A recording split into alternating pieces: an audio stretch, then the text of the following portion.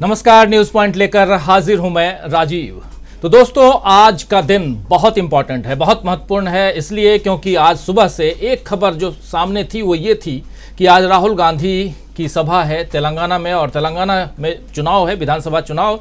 इसी साल के आखिर में, नवंबर, दिसंबर में, और उससे पहले, क्या ये चुनावी आगाज़ होगा? कैसा होगा आगाज़? वो सब कुछ हम देखने, समझने, जानने और आप तक पहुँचाने की तैयारी कर रहे थे तो इसी बीच खबर आई महाराष्ट्र की, जहाँ सियासी तूफ़ान मच गया। और तूफ़ान ऐसा कि वहाँ एनसीपी में दो फाड़ हो गई। उस पर अभी थोड़ी देर पहले आप चर्चा सुन भी रहे थे। लेकिन इस वक्त सीधे आपको ले चलते हैं तेलंगाना खम्मम जहाँ राहुल गांधी इस वक्त भाषण दे रहे हैं। उनके भाषण के अंश को सुनिए क्या कुछ लाइव आप तक लेके आते हैं हम क्या कुछ राहुल गांधी कह रहे हैं? और उसके बाद इस चर्चा को आगे बढ़ाएँगे। हमारे साथ बहुत सारे साथी जुड़े हुए हैं उन सबसे भी आपका परिचय करवाऊँगा लेकिन पहले सुनते हैं राहुल गांधी कह क्या रहे हैं। सुनिए जरा। कांग्रेस पार्टी के साथ कर्नाटक में कर्नाटक का हर गरीब व्यक्ति खड़ा हो गया।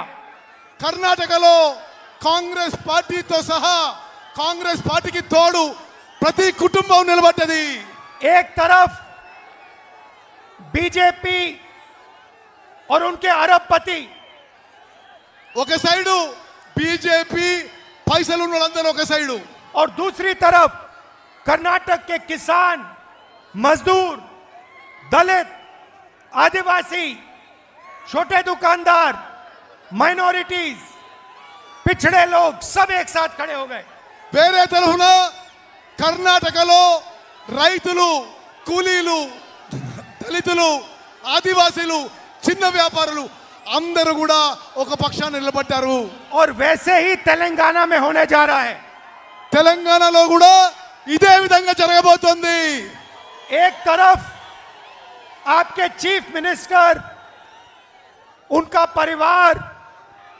और उनके 10-15 अरबपति मित्र ఒక పక్షాన ముఖ్యమంత్రి ఆయన కుటుంబ సభ్యులు వాళ్ళ వ్యాపారవేత్తలు కాంట్రాక్టర్ల దోస్తులు और दूसरी तरफ तेलंगाना के सब गरीब लोग दलित आदिवासी पिछड़े माइनॉरिटीज छोटे दुकानदार किसान मजदूर మరో పక్షాన రైతులు దళితులు ఆదివాసీలు మహిళలు చిన్న వ్యాపారులు కేసీఆర్ అని కుటుంబానికి వ్యతిరేకంగా నిలబడ్డారు इसीलिए तेलंगाना में भी वही होने जा रहा है जो कर्नाटक में हुआ తెలంగాణలో కూడా కర్ణాటకలో ఏం జరిగిందో అదే జరుగుతుంది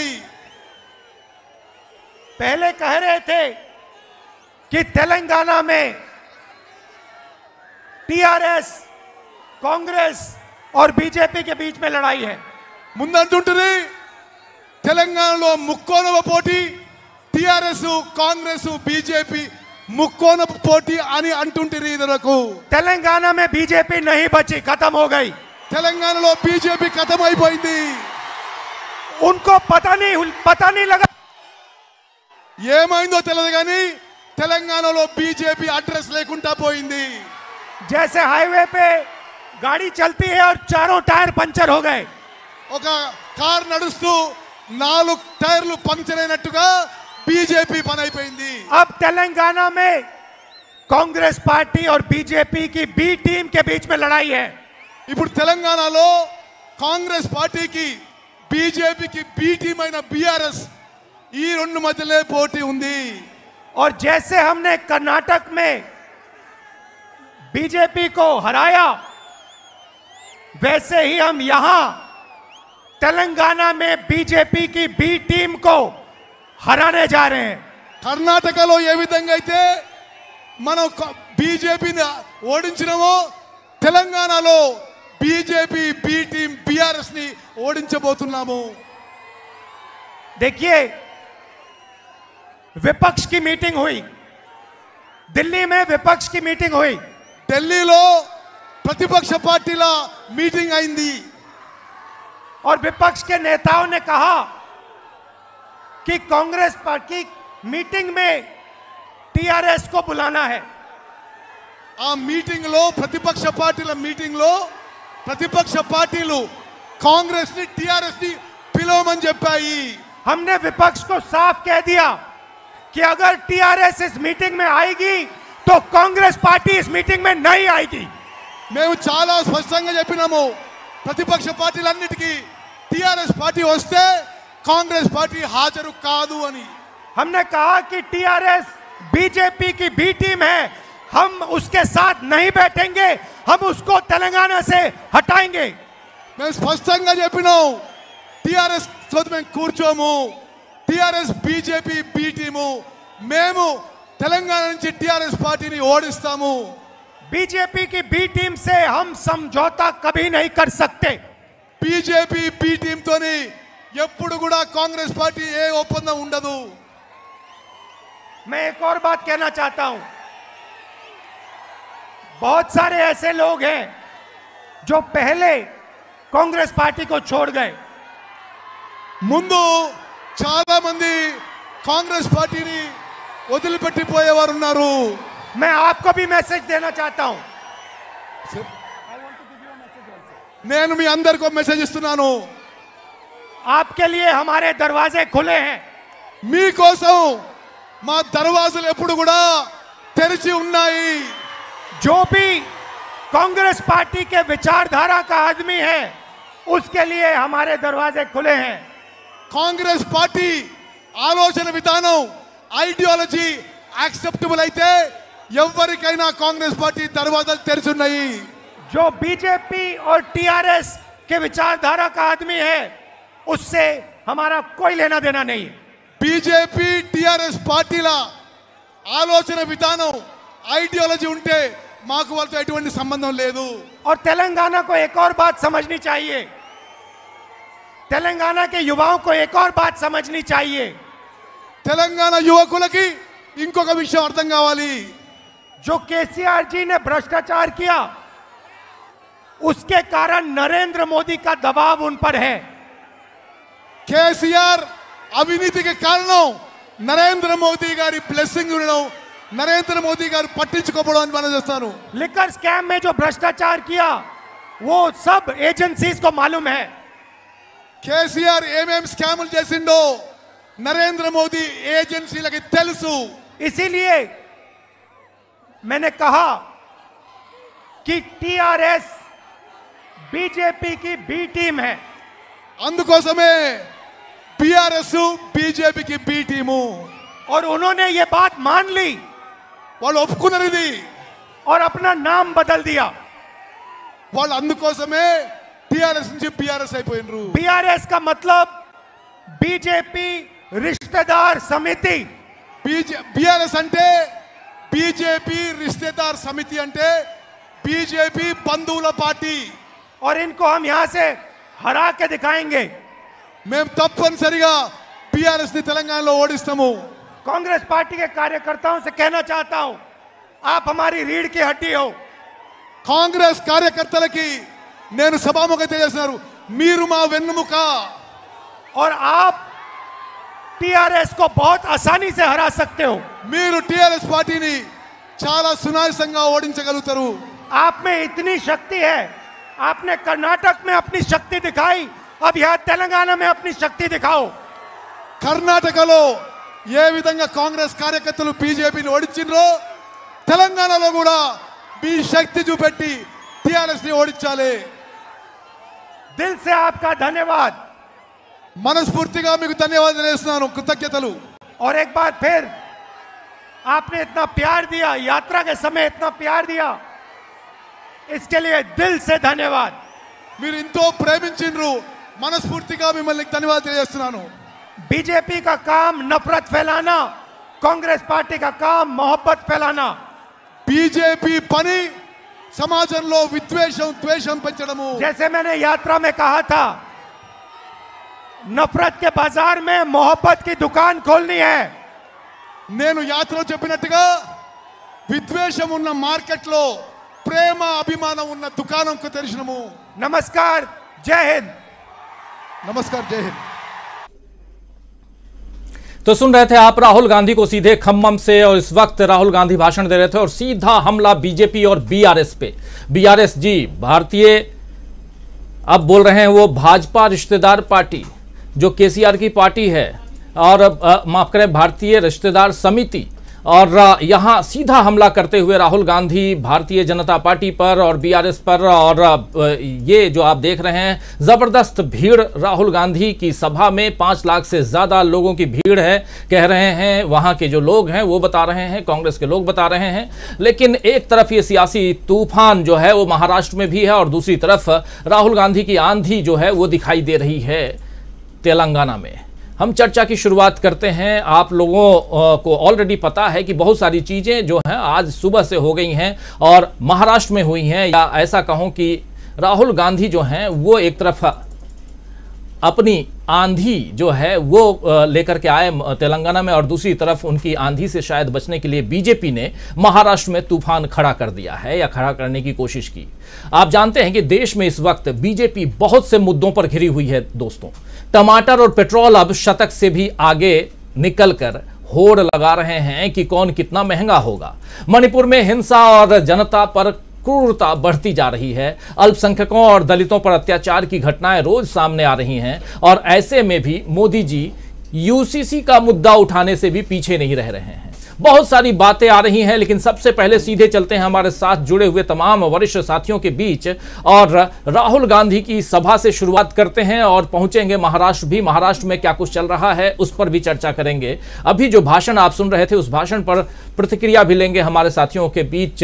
इस बीच हमारे साथ इस वक्त कुछ वरिष्ठ साथी जुड़े हुए हैं, उन सबसे पहले परिचय करवाता हूँ आपका। और, सीधे हम आ जाते हैं आज के इस स्पेशल न्यूज़ पॉइंट के स्पेशल बुलेटिन में तो बहुत कुछ राहुल गांधी कहते हुए नज़र आए और सबसे बड़ी बात है कि बीजेपी उसके ऊपर उठते हुए हर सवाल का जवाब देने से पहले वो खुद को भागती हुई या भगाती हुई नज़र आ रही है।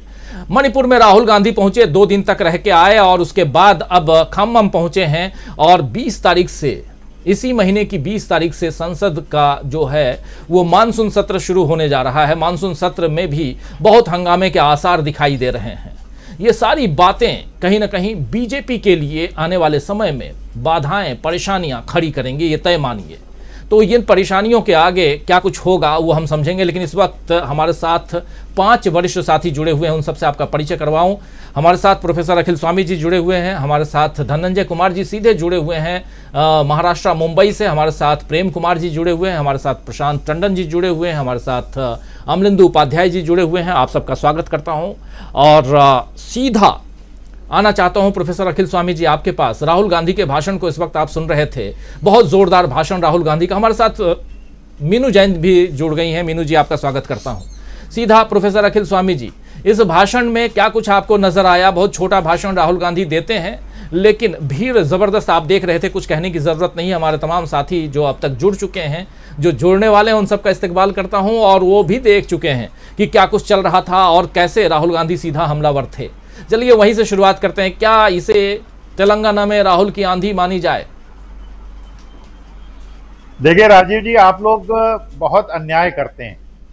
जब इस प्रकार के आप सीन दिखाते हैं तो भक्तों को रात में नींद नहीं आएगी, लाखों की भीड़। और मैंने राजीव जी, ऐसी भीड़ 1977 के चुनाव के पहले देखी थी। भोपाल में मेरी पोस्टिंग थी और लाखों की भीड़ देखी थी। वो आज मैं तेलंगाना में देख रहा हूँ। वास्तविकता में और दूसरी तरफ़, जब बीजेपी के बड़े बड़े नेताओं की मीटिंग होती है तो वहाँ कुर्सियाँ खाली होती हैं। आप देखिए कितना रिस्पॉन्सिव पीपल मूवमेंट है। राहुल गांधी ने वास्तविकता में आज की तारीख में भारत के राजनीतिक परिवेश में क्रांतिकारी परिवर्तन कर दिया है। और आज जो महाराष्ट्र के अंदर हुआ, आपका जो डिस्कशन हुआ, पूरा मैंने उसको सुना वास्तविकता में ये राहुल गांधी ने एक दिशा दिखा दी है अपोजिशन के हर नेता को कि अगर आपको बीजेपी जैसी पार्टी से संघर्ष करना है, अगर आपको चुनाव आयोग से, अगर आपको ईडी से, सीबीआई से, इनकम टैक्स से, संस्थाओं से संघर्ष करना है तो आपको जनता के पास सीधे जाना पड़ेगा। और जनता के पास जो राहुल गांधी ने आज तेलंगाना में कहा है, अगर आप किसानों के पास जाएँगे अगर आप मजदूरों के पास जाएँगे, अगर आप आदिवासियों के पास जाएँगे, दलितों के पास जाएँगे, बैकवर्ड्स के पास जाएँगे, वंचितों के पास जाएँगे, शोषितों के पास जाएँगे, अगर आप पूंजीपतियों के पास केवल उनके साथ फ़ोटो नहीं खिंचवाएँगे, अगर जनता के दुख दर्द को बांटेंगे, जो आज की तारीख में राहुल गांधी कर रहे हैं, जो वो कह रहे हैं, जिस प्रकार का कर्नाटका में रिज़ल्ट आया है, तेलंगाना की आज की मीटिंग ये दिखाती है ये परिवर्तन केवल कर्नाटका और हिमाचल प्रदेश में नहीं हुआ है। पूरे देश में इस प्रकार का परिवर्तन हो रहा है। जमीनी स्तर पर जो मेरा क्षेत्र जहाँ का मैं रहने वाला हूँ, आज मैंने वहाँ के बहुत सारे लोगों से संपर्क किया। जनता का जो आवाज़ है, जनता का जो निर्देश है, वो सुनाई पड़ रहा है। इसीलिए ये नौटंकी इनको महाराष्ट्र के अंदर करनी पड़ी।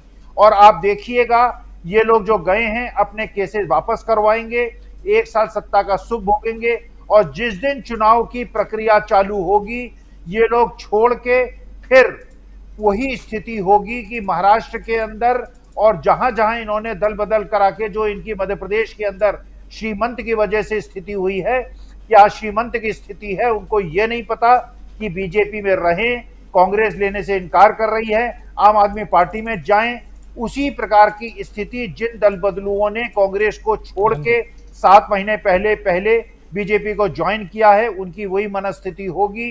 वास्तविकता में परिवर्तन का आगाज़ हो गया है।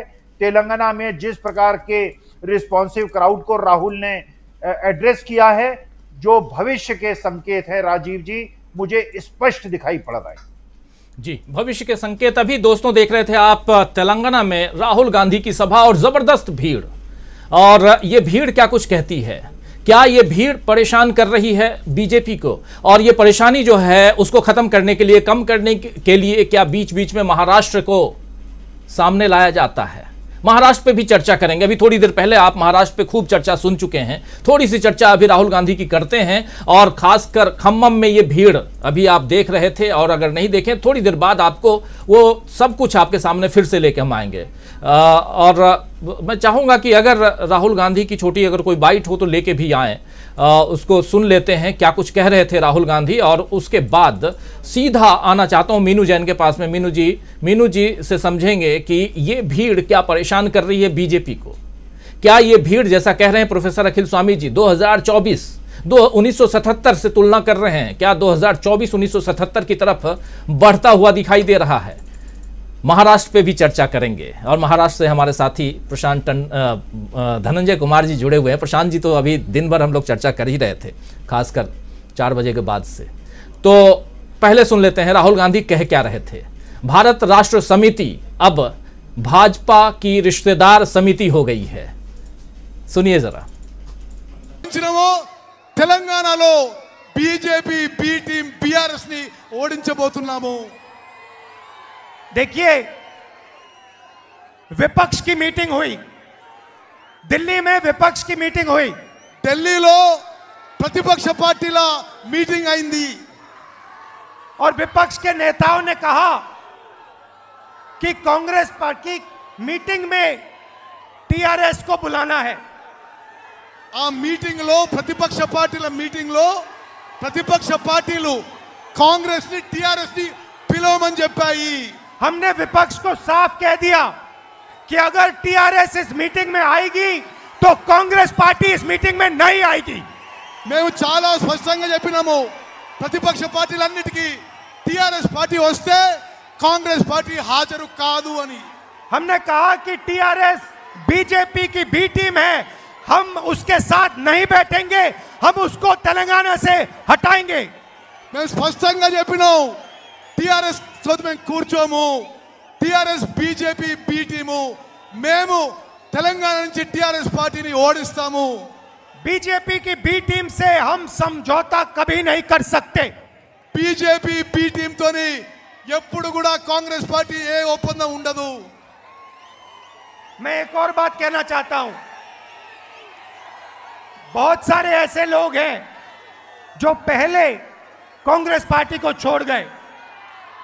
ముందు చాలా మంది కాంగ్రెస్ పార్టీని వదిలిపెట్టిపోయేవారు ఉన్నారు मैं आपको भी मैसेज देना चाहता हूं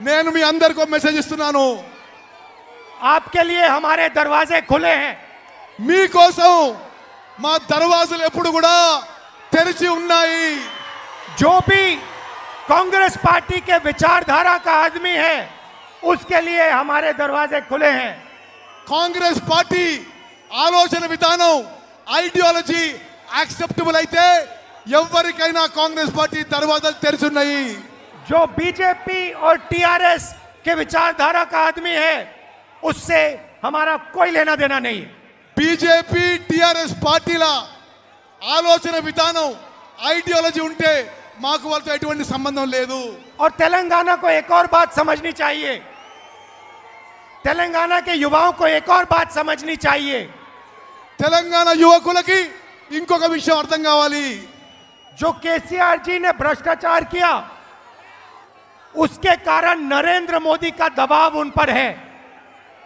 కేసీఆర్ అవినీతికి కారణం నరేంద్ర మోదీ గారి బ్లెస్సింగ్ ఉండడం నరేంద్ర మోదీ గారు పట్టించుకోవడం అని మనం చేస్తాను लिकर स्कैम में जो भ्रष्टाचार किया वो सब एजेंसीज को मालूम है కేసీఆర్ ఏమేం స్కాములు చేసిండో నరేంద్ర మోదీ ఏజెన్సీలకి తెలుసు इसीलिए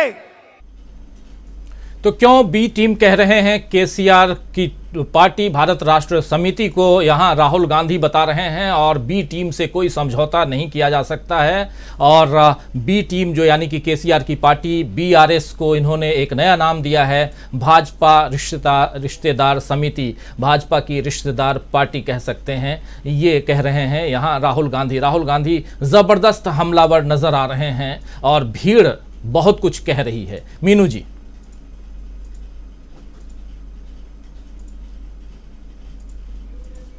अनम्यूट कर लीजिए। प्लीज़ राजीव जी, मेरा ये कहना है कि ये कांग्रेस की विडंबना है कि जिस तेलंगाना राज्य का निर्माण करने में कांग्रेस की महती भूमिका रही, आपको ध्यान ही होगा, याद ही होगा, सभी को याद होगा दर्शकों को, उस राज्य में कांग्रेस पार्टी सत्ता में नहीं है, जब से राज्य का निर्माण हुआ है। तो आज जो है, कांग्रेस जो है, आज जो राहुल गांधी ने और जो कांग्रेस की, वहाँ की जो प्रदेश इकाई है उससे जो शक्ति प्रदर्शन किया है एक तरीके से। बहुत भारी भीड़ वहाँ जमा हुई है। तो वो एक अच्छा संकेत है कांग्रेस पार्टी के लिए कि लोग वहाँ सुनने के लिए आए हैं कि राहुल गांधी क्या कहते हैं। और ये ध्यान रखिएगा कि कर्नाटक से ये तेलंगाना से भी भारत यात्रा गुजरी थी, जिसका कि राहुल गांधी ज़िक्र कर रहे हैं। तो डेफिनेटली उसका प्रभाव भी वहाँ पे होगा ही। इसमें एक मुख्य बात जो राहुल गांधी ने कही कि भाई जो कांग्रेस ही चले गए हैं छोड़ के पहले चले गए थे, उनके लिए दरवाजे खुले हुए हैं। ये एक बड़ा एक सकारात्मक उनकी तरफ़ से इनिशिएटिव है। और देखिए, पिछले दिनों आपने देखा ही होगा कि तेलंगाना में बहुत भारी संख्या में दूसरी पार्टियों से लोग कांग्रेस की तरफ़ आए हैं। उन्होंने कांग्रेस में, कांग्रेस को ज्वाइन किया है। तो दिस शोज़ की, देखिए, चुनावी मौसम में इसी बात से अंदाज़ा लगाया जाता है कि कौन सी पार्टी की तरफ़ लोग ज़्यादा जा रहे हैं दल बदल करके। तो उसमें ये जो वापस आ रहे हैं कांग्रेस के नेता पार्टी में ये कांग्रेस के लिए बड़ा शुभ संकेत है। देखिए, तेलंगाना जो था, पहले आंध्र प्रदेश का ही एक हिस्सा था। मतलब बाद में आंध्र प्रदेश का दो हिस्से करके तेलंगाना राज्य बना है और आंध्र प्रदेश हमेशा से हमेशा से कांग्रेस का गढ़ रहा। और कांग्रेस वो राज्य है कि जहाँ बीजेपी, ये वो राज्य है जो कि इमरजेंसी के बाद भी यहाँ से, यहाँ कांग्रेस की सीटें बन, मिली थी यहाँ पे कांग्रेस को। मतलब सारे ही साउथ से मिली थी, लेकिन आंध्र प्रदेश में बहुत भारी भरकम सीटें मिली थी उनको। तो तीसरी बात, इसमें राहुल गांधी एक वारंगल डिक्लेरेशन का ज़िक्र किया। बेहतर होता कि राहुल गांधी उस वारंगल डिक्लेरेशन के जो मुख्य पॉइंट्स थे उनको दोहरा देते।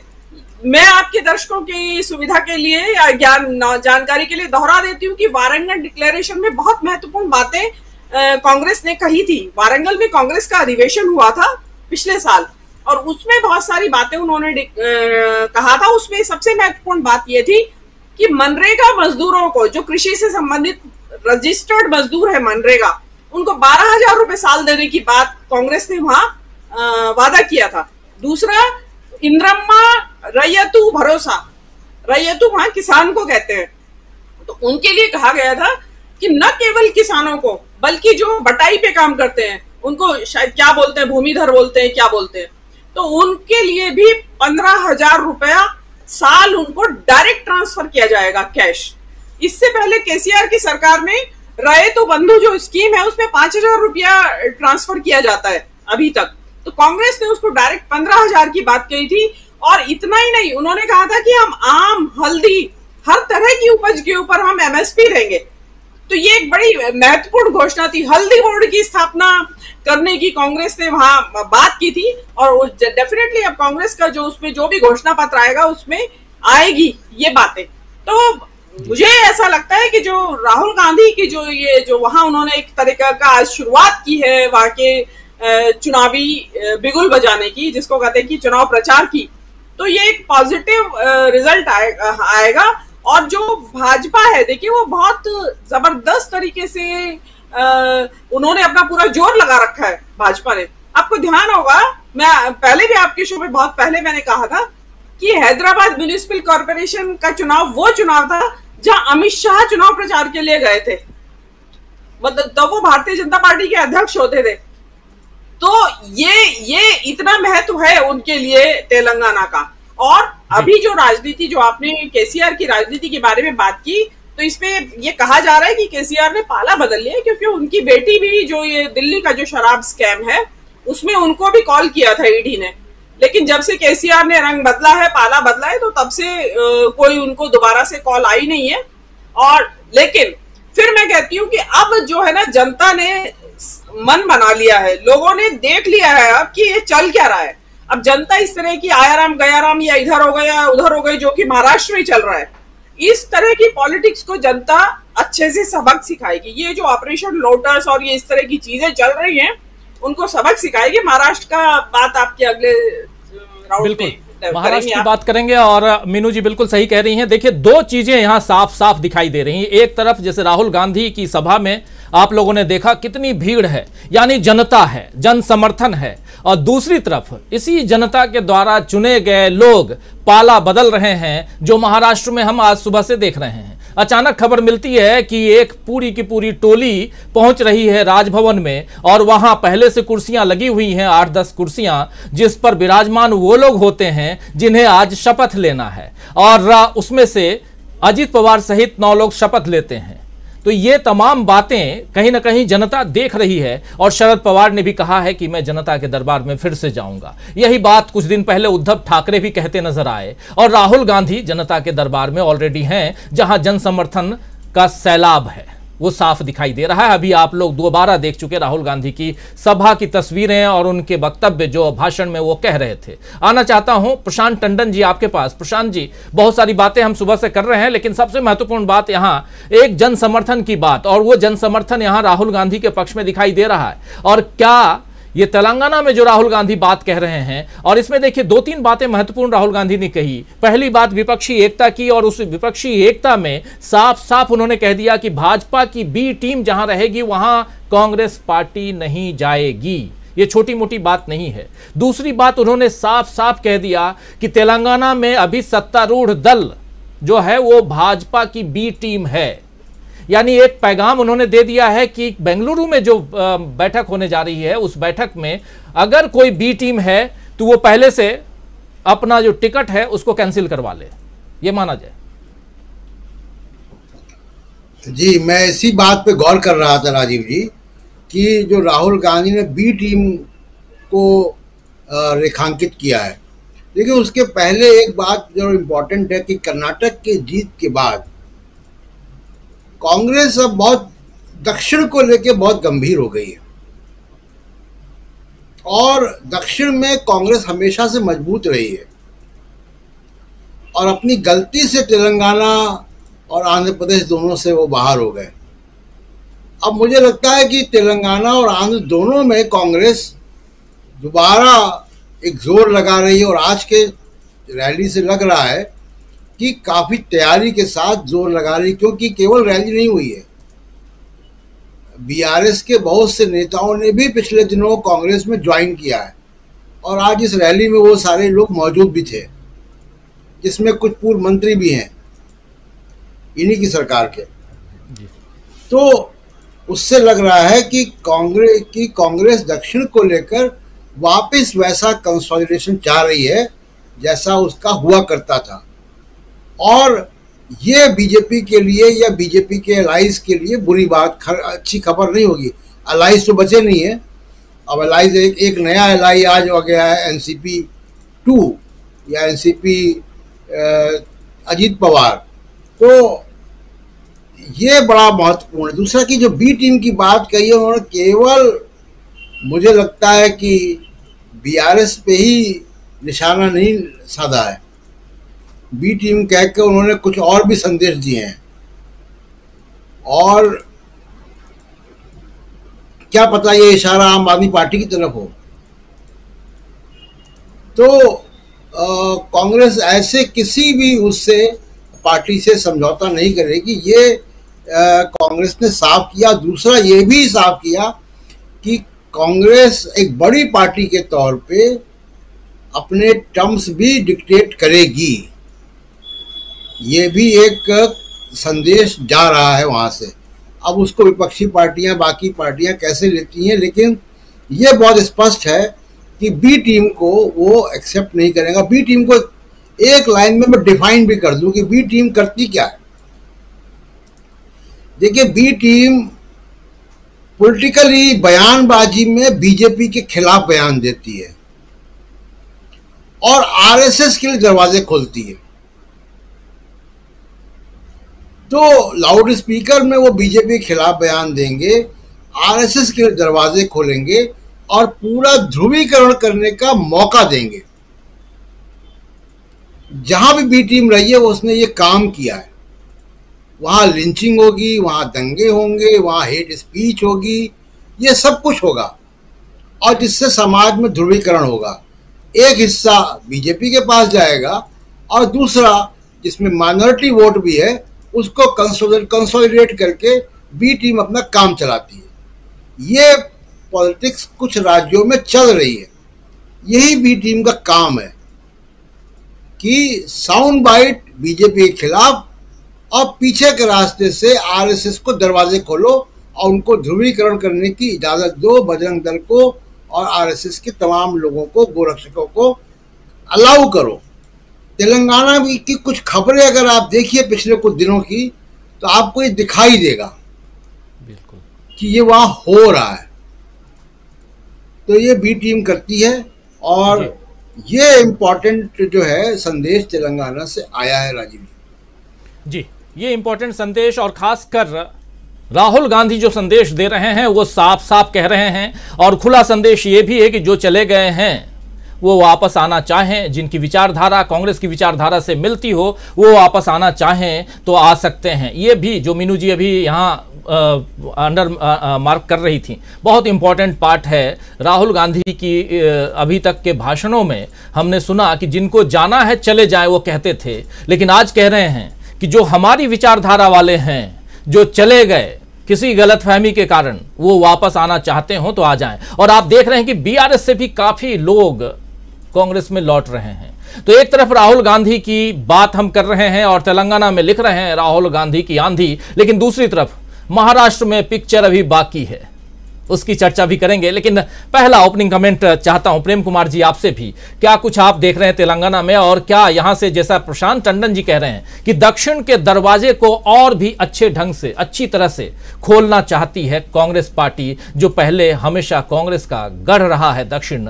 उस गढ़ में कर्नाटक में जीत तेलंगाना तमिलनाडु में टीएमके के साथ में उनकी सरकार और आंध्र प्रदेश ते, तेलंगाना और केरल पर नज़रें क्या कहेंगे आप?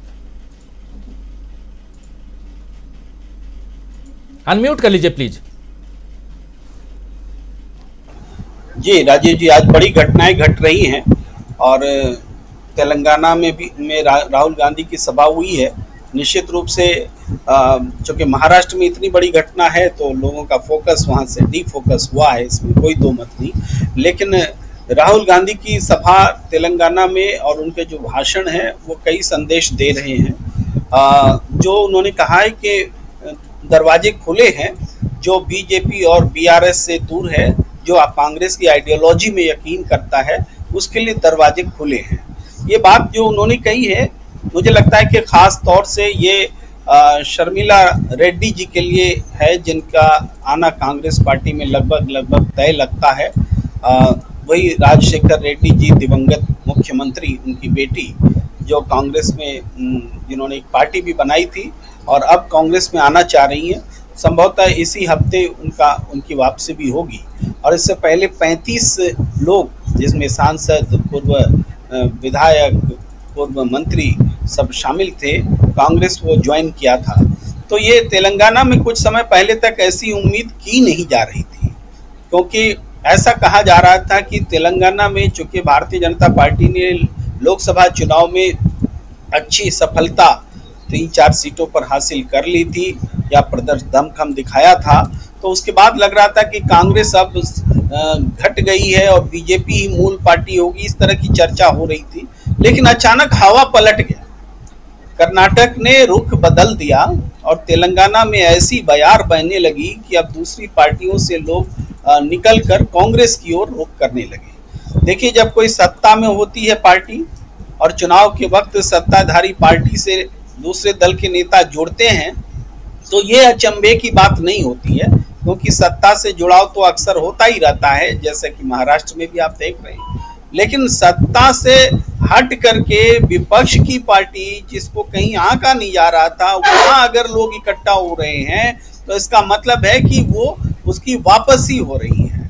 और ये भीड़ बताती है रैली में उमड़ी भीड़ कि कांग्रेस ने ज़बरदस्त समा बाँध दिया है और राहुल गांधी जिस तरीके से मध्य प्रदेश में डेढ़ सीट का दावा करते हुए आए हैं और तेलंगाना में सरकार बदलने की बात कर रहे हैं तो ये यूँ ही अनायास नहीं है। यही राहुल थे, पहले ऐसा भाषण नहीं देते थे। और भाषण का मतलब केवल मुँह से शब्द बोलना नहीं होता है। भाषण का मतलब होता है, नेता में अपने वक्तव्य पर विश्वास, और वो विश्वास आता है जनता के साथ कनेक्टिविटी से। जब विश्वास नहीं होगा तो शब्द भी ज़ुबान भी साथ नहीं देते। इसलिए राहुल गांधी पहले ऐसा कहाँ बोल रहे थे? लेकिन आज वो ऐसा बोल रहे हैं। तो उनका कनेक्ट बना है जनता के साथ। राजनीति को उन्होंने बहुत मजबूती से पकड़ा है, नब्ज को पकड़ा है। अब तो बीजेपी की बी टीम को भी डिफाइन कर रहे हैं, बता रहे हैं बी टीम क्या है और हम लोगों को आसानी से समझ में आ रहा है कि बी टीम क्या है। तो ये राहुल गांधी जो तेलंगाना में दिखा रहे हैं, इसका बहुत महत्व है।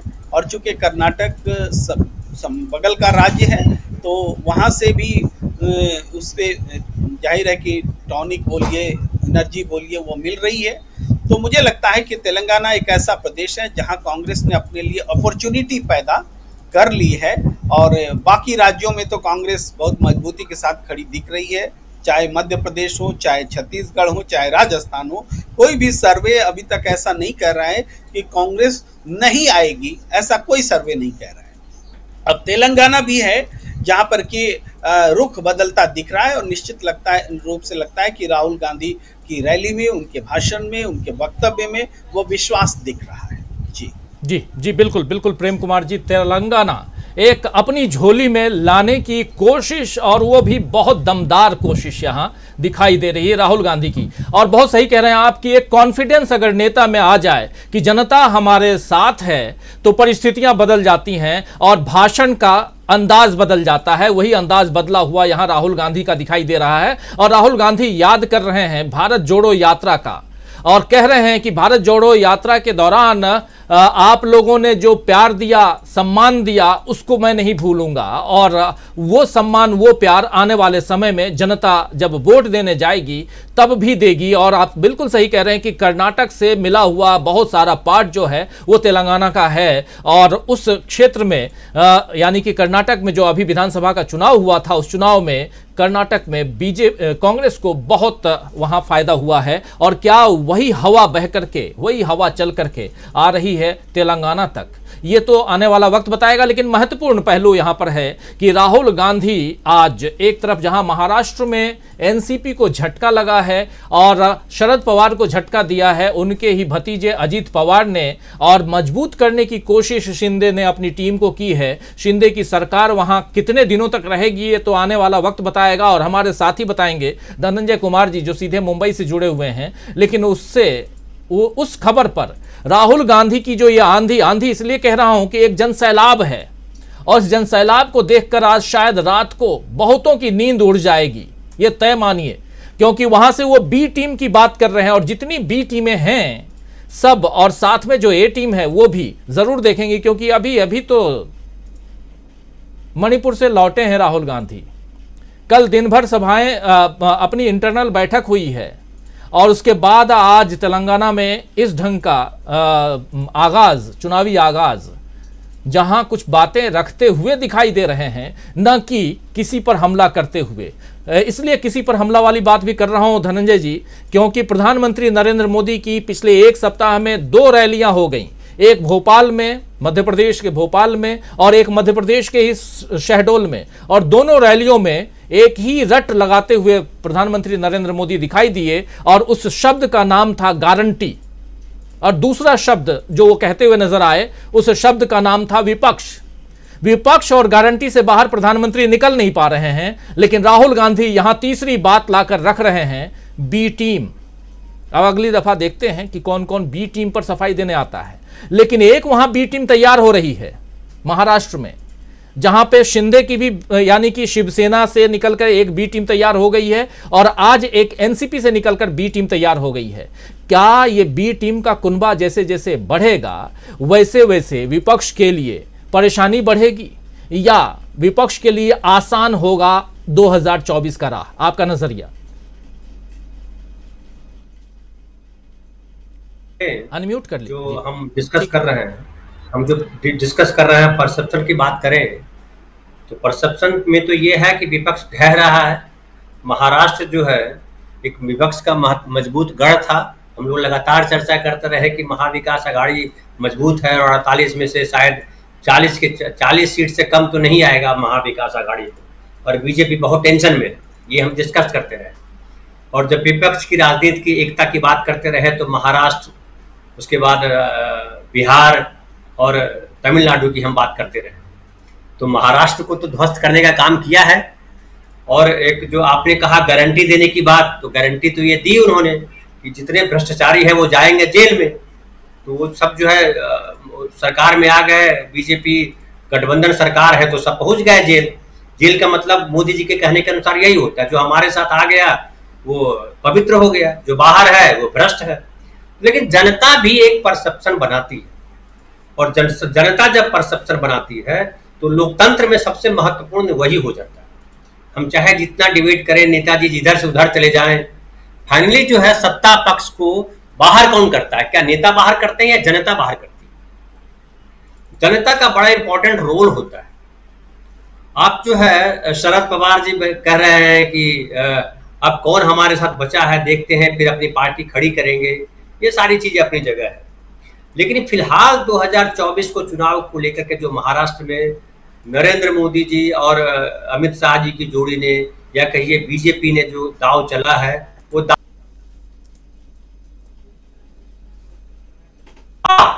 गटर मीडिया में कहता हूँ उसमें क्या चल रहा है? कुछ बोल रहे थे आप? नहीं नहीं जी बोलिए प्लीज़। तो वो वही चल रहा है कि जो है ये खत्म हुआ सब और तरह तरह की बातें शरद पवार गए चाचा ने चाचा को भतीजे ने दिया धोखा, वगैरह वगैरह वगैरह। अब लेकिन एक बड़ा झटका तो है जिसे तो इनकार नहीं किया जा सकता। लेकिन क्या 2024 के चुनाव में ये जो आए हैं मिलकर के लोग, अब एक महत्वपूर्ण होता अब तक हम यही सोचते रहे कि सिंधे जो आए हैं, बीजेपी के ऊपर शिवसेना कमज़ोर नहीं हुई, और साथ लेकर के भी बीजेपी ये बात लगातार हम करते रहे और देखते भी रहे। अब जब शरद पवार जी की पार्टी करके लेके आई है बीजेपी तो इस धनंजय जी आप चाहूँगा आपकी आवाज़ बार बार कट रही है ब्रेक हो रही है मैं चाहूँगा कि थोड़ा एक बार रिकनेक्ट हो जाए तब तक मैं आता हूँ अमलेंदु जी के पास। ए, एक मिनट जी ठीक है। अमलेंदु जी के पास आता हूँ। अमलेंदु जी राहुल गांधी की आंधी में। अमलेंदु जी, राहुल गांधी की आंधी जो धीरे धीरे बन रही है, आज हो सकता है कई लोगों को ये अतिशोक्ति लगे। कई लोगों को लगे कि बढ़ा चढ़ा के हम लोग राहुल भक्ति में बात कर रहे हैं।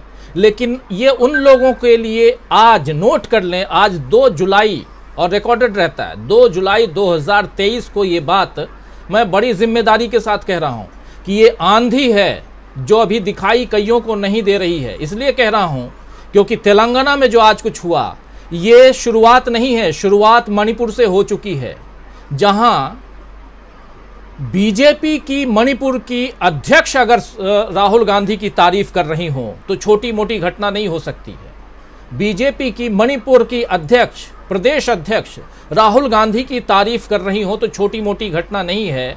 और अगर राहुल गांधी की तारीफ़ वहाँ से हो रही है और ये कारवा अगर बढ़ रहा है धीरे धीरे आप देख रहे हैं और थोड़ा और बैक में जाइए, पीछे जाइए तो पटना अपने सुपुत्र के सामने, यानी लालू प्रसाद यादव, उसी मंच पर उनके बेटे तेजस्वी यादव थे, लेकिन वो पूरा का पूरा उनका जो वक्तव्य था प्रेस को संबोधित करते हुए वो केंद्रित था राहुल गांधी पर। उतना ही नहीं वहाँ के मुख्यमंत्री भी पूरा का पूरा वक्तव्य देते हुए और कहे, सीधा अपनी बात के बाद कि राहुल जी, आप बोलिए। तो यानी कहीं ना कहीं राहुल गांधी एक ट्रैक पे हैं और जो बीजेपी समझ रही है और बीजेपी राहुल को पीछे लाने की कोशिश कर रही है, जिसमें वो असफल हो रही है।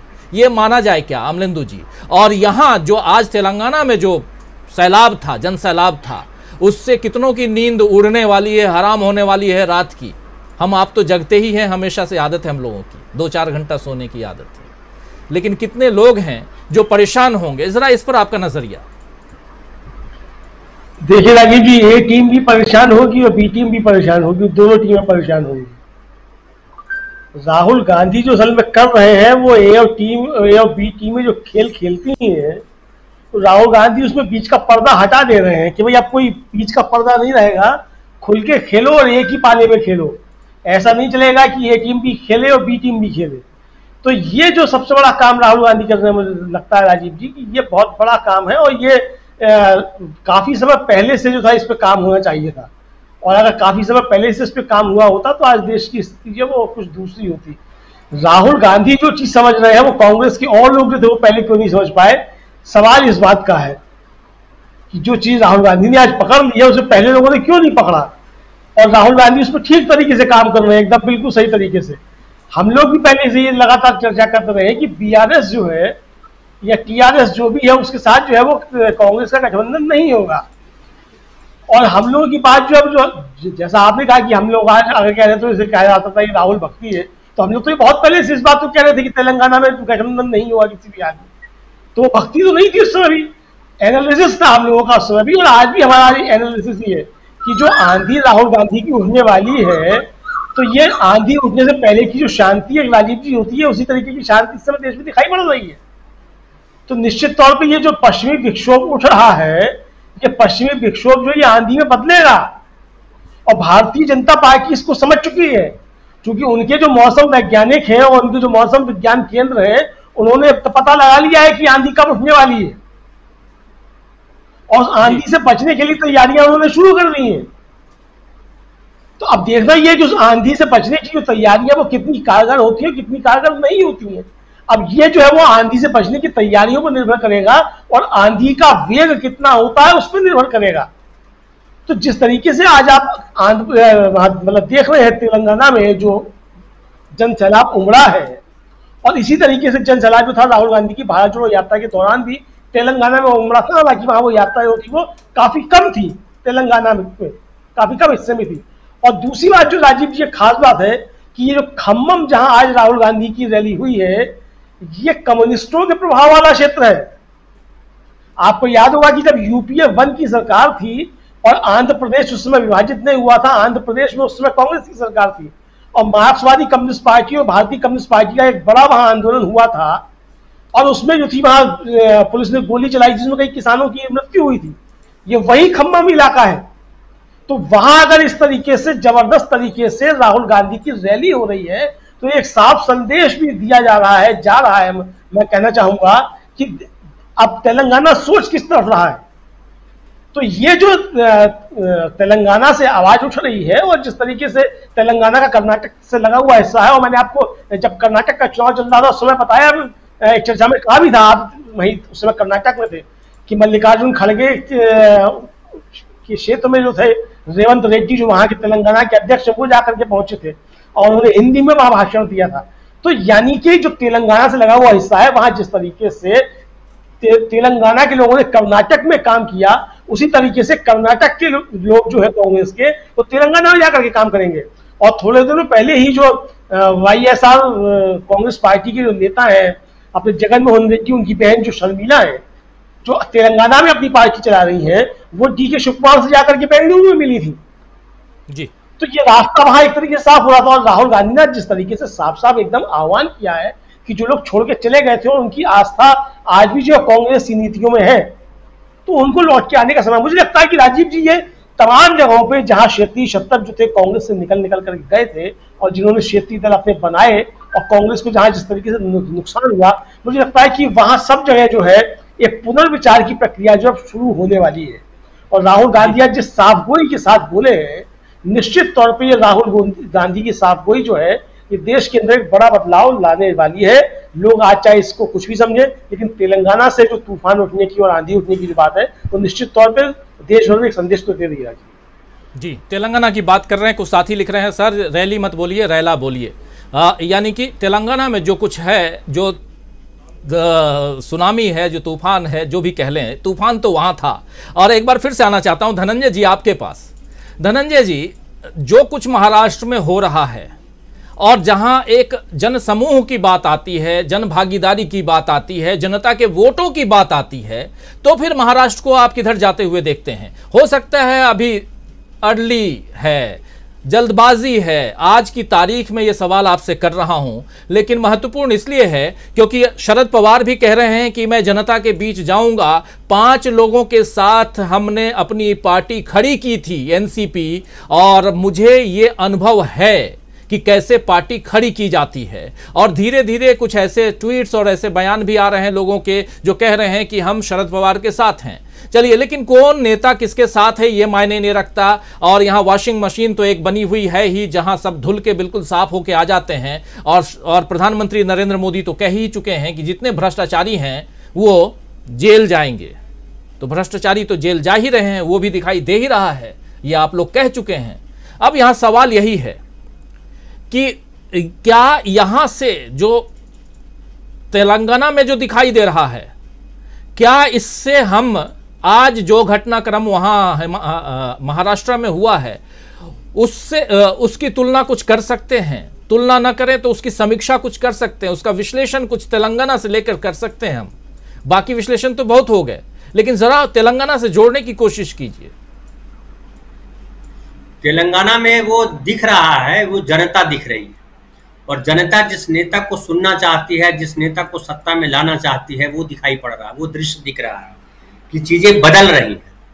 अब जो, अब महाराष्ट्र की बात करें तो महाराष्ट्र में शिवसेना जब टूटी, शिंदे अलग हुए चालीस विधायकों को लेकर के तो पूरे महाराष्ट्र में आपने देखा लगा कि शिवसेना खत्म हो गई, उद्धव ठाकरे खत्म हो गए, लेकिन जनता शिवसेना के साथ खड़ी रही। शिवसेना यानी उद्धव उद्धव बाला साहब ठाकरे के साथ जनता खड़ी रही। और ये डर लगातार बीजेपी को रहा कि उद्धव के साथ जनता है, शिंदे जनता नहीं लेकर के आ पाई। सिंधे ने जो पार्टी है, उसके भीतर जो तोड़ फोड़ नेता के स्तर पे तो कर दिया, लेकिन जनता के स्तर पे नहीं हुआ। अब देखिए, उसका असर जो है, दूसरा देखिए कि फिर एनसीपी को तोड़ा गया है, और जैसा शरद पवार कह रहे हैं तो एनसीपी के भी जो नेता गए हैं, उसमें से समझिए प्रफुल्ल पटेल भी साथ खड़े दिखाई पड़ रहे हैं। कुछ सांसद भी साथ खड़े हैं। और जो शरद पवार है, उनके बड़े क्लोज लोग हैं। लेकिन जो महाराष्ट्र के जो महत्वपूर्ण और नेता हैं, जैसे जितेंद्र आहवाड़ का नाम आता है, जैसे जयंत पाटिल का नाम आता है, जो अभी अध्यक्ष है उनकी पार्टी के, और भी कई सारे नेता आते हैं। और खुद शरद पवार हैं और सुप्रिया सूले हैं। तो सुप्रिया सूले हैं मतलब शरद पवार साथ हैं। और शरद पवार है मतलब शरद पवार जिधर खड़े हैं, अभी भी जनता जो महाराष्ट्र की है, एनसीपी के जो वोटर हैं, उनके साथ हैं। अजित पवार इतने व्यग्र क्यों थे, क्या हुआ? और वो मुझे तो वही लग रहा है कि जो बार बार सब लोग समझ भी रहे हैं इस बात को कि वो जो 2014 का एक भाषण जो है, आपने भी देखा होगा शायद, मीडिया में बड़ा चर्चा में है। जब देवेंद्र फडणवीस भाषण दे रहे हैं और कह रहे हैं कि सिंचाई घोटाला में अजित पवार जेल जाएँगे, चक्की पिसिंग चक्की पिसिंग तो चक्की तो पिसिंग नहीं, वो फिर से उप मुख्यमंत्री बना दिए गए। अब हो सकता है उप मुख्यमंत्री बनने के बाद वहाँ लोग मंत्री से बैठ के चक्की पीसते होंगे, जिस जो आटा बनता होगा उससे मोदी जी और अमित शाह उससे पूरी और सब्ज़ी खाते होंगे तो बात दूसरी है, उनके लिए चक्की पीस रहे होंगे मंत्री बन के लोग तो हो सकता है। लेकिन जनता जो है इस बार चक्की में उन लोगों को पीस देगी, जो वोट तो उनसे लेते हैं, लेकिन वो सत्ता का खेल खेलने लगते हैं। वो चाहे भ्रष्टाचार के से बचने के लिए करें या जो लोग जो है सत्ता में आने के लिए करें, लेकिन बीजेपी से भी सवाल करेगी जनता, और वो सवाल जनता कर रही है कि ये बताइए कि जिन नेताओं को आप भ्रष्ट बता रहे होते हैं, वो नेता आपके यहाँ मंत्री बन जाते हैं फिर वो महान नेता हो जाते हैं। जेल तो कोई जाता नहीं है, जेल में तो वही जाते हैं लोग जो आपके खिलाफ खड़े रहते हैं, जो आपसे डरते नहीं हैं। अब संजय राउत देखिए उदाहरण है, अभी एक और नवाब मलिक जेल में बंद है। एक और मंत्री थे अनिल जो वापस लौट करके आ गए जेल से तो जेल में वही जा रहे हैं जो उनके विरोध में तन के खड़े होते हैं। जनता ये देख रही है और जनता का परसेप्शन जो है वो तेलंगाना में आप देख पा रहे हैं। इसके पहले कर्नाटक में देखा कि कर्नाटक में क्या हुआ? मोदी जी ने चाहे बजरंग बली को ला दिया, अपना चेहरा ला दिया, सबको अपनी पार्टी के लोगों को नीचे कर दिया और कह दिया कि मुझे वोट दो। लेकिन कर्नाटक की जनता ने किसे वोट दिया? और इनका तमाम जो मीडिया के जो साथी हैं, जो भांड वाला रोल में हैं, उन लोगों ने क्या कहा था कर्नाटक में? लेकिन हुआ क्या? अभी मध्य प्रदेश में क्या चल रहा है? तो तेलंगाना, मध्य प्रदेश, ये सारे प्रदेश जो है, वो बीजेपी से या कहिए मोदी, अमित शाह जी के अधिनायकवादी सत्ता से परेशान है। क्योंकि फाइनली जो है, जनता को क्या रिलीफ मिल रहा है? नेताओं को तो रिलीफ मिल रहा है कि उनको गाड़ियाँ मिल रही है नई, मंत्री पद मिल रहा है नया, उनको जो है घर नए नए मिलेंगे, बंगले नए मिलेंगे। लेकिन जनता के हिस्से क्या आएगा? तो जनता ये देख रही है और मुझे लगता है अब मोदी और शाह जी का निशाना अगला बिहार होगा। अब देखना है बिहार कैसे बचता है या बिहार में क्या होता है। क्योंकि ये प्रयास तो करेंगे क्योंकि ये जो परसेप्शन बना है कि विपक्षी एकता बन रही है और मोदी जी के खिलाफ लोग खड़े हो रहे हैं, उस परसेप्शन को मोदी जी तोड़ना चाह रहे हैं। लेकिन ये चक्रव्यूह का पहला हिस्सा है। दूसरा हिस्सा जो बनता है, जहाँ जनता खड़ी है, जहाँ कांग्रेस पार्टी राहुल गांधी के साथ खड़ी है और जहाँ जनता और राहुल गांधी खड़े हैं, क्या वो चक्रव्यूह टूट पाएगा? तो ऐसा तो दिखाई नहीं पड़ रहा है। और मध्य प्रदेश भी ये बताएगा कि देखिए, ये चक्रव्यूह जो आप रच रहे हैं और चक्रव्यूह जो जनता रचती है तो जनता का चक्रव्यूह हमेशा ज़्यादा ताकतवर होता है।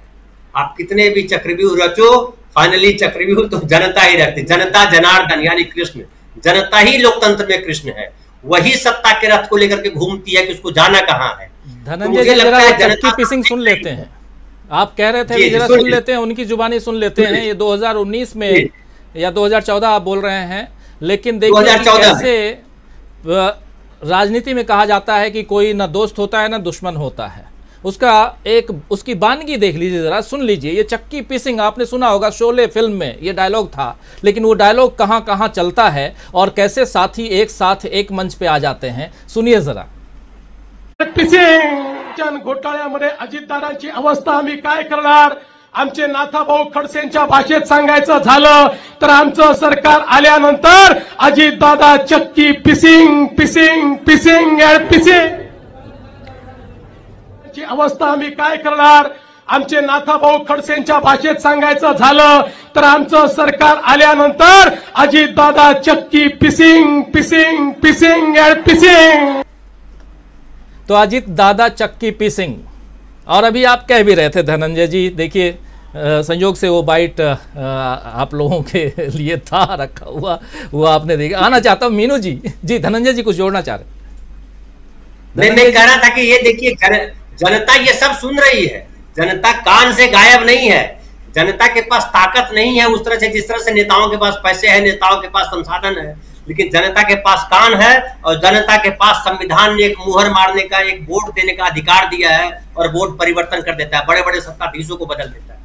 तो बदलेगी जनता बिल्कुल। सही कह रहे हैं बिल्कुल। मीनू जी जल्दी से आना चाहता हूँ आपके पास बहुत घटनाक्रम बहुत तेज़ी से बदल रहा है और आ, शायद ये हम 2024 तक ऐसे ही घटनाक्रमों के साक्षी रहेंगे और ऐसे ही अपने प्रोग्राम के ज़रिए हमारे तमाम साथियों तक हम पहुंचाएँगे इन तमाम घटनाक्रमों को। आपसे आपसे समझना चाहता हूँ। जरा फिर से मैं जनता के बीच जाने वाले नेताओं से कनेक्ट करता करना चाहता हूँ ए, एक परिपाटी एक तरह की स्थिति यहाँ राजनीति में दिखाई दे रही है कि दूसरे दलों के नेताओं को तोड़ कर ले आओ। और अपनी सरकार बना लो। कर्नाटक में हमने देखा हमने देख लिया मध्य प्रदेश में जहाँ ज्योतिरादित्य सिंधिया आज खुद अपने घर में ना इधर के रहे ना उधर के रहे न इस घर के रहे ना उस घर के रहे। एक घर तो आप त्याग के चले गए थे मतलब कांग्रेस पार्टी। उसके बाद आज बीजेपी में हालत ऐसी है कि बीजेपी के लोग कहते हैं इनके कारण हम हारने जा रहे हैं।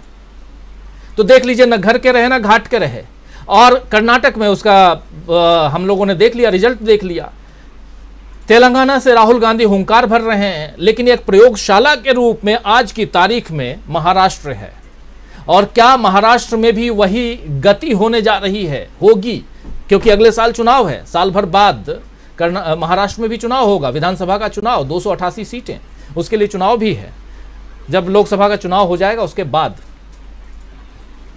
तो क्या यहाँ से हम राजनीति की एक दूसरी धारा देखेंगे?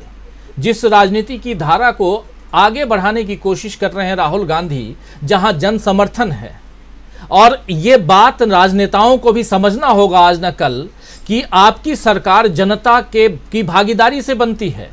आप ऐसे तोड़ के, आप ऐसे धमका के, डरा के, वॉशिंग मशीन में डाल के, या ईडी भेज करके, सीबीआई भेज के, आईटी रेड करवा करके अपनी सरकार चला तो बना तो लेंगे, लेकिन जनता सब देख रही है।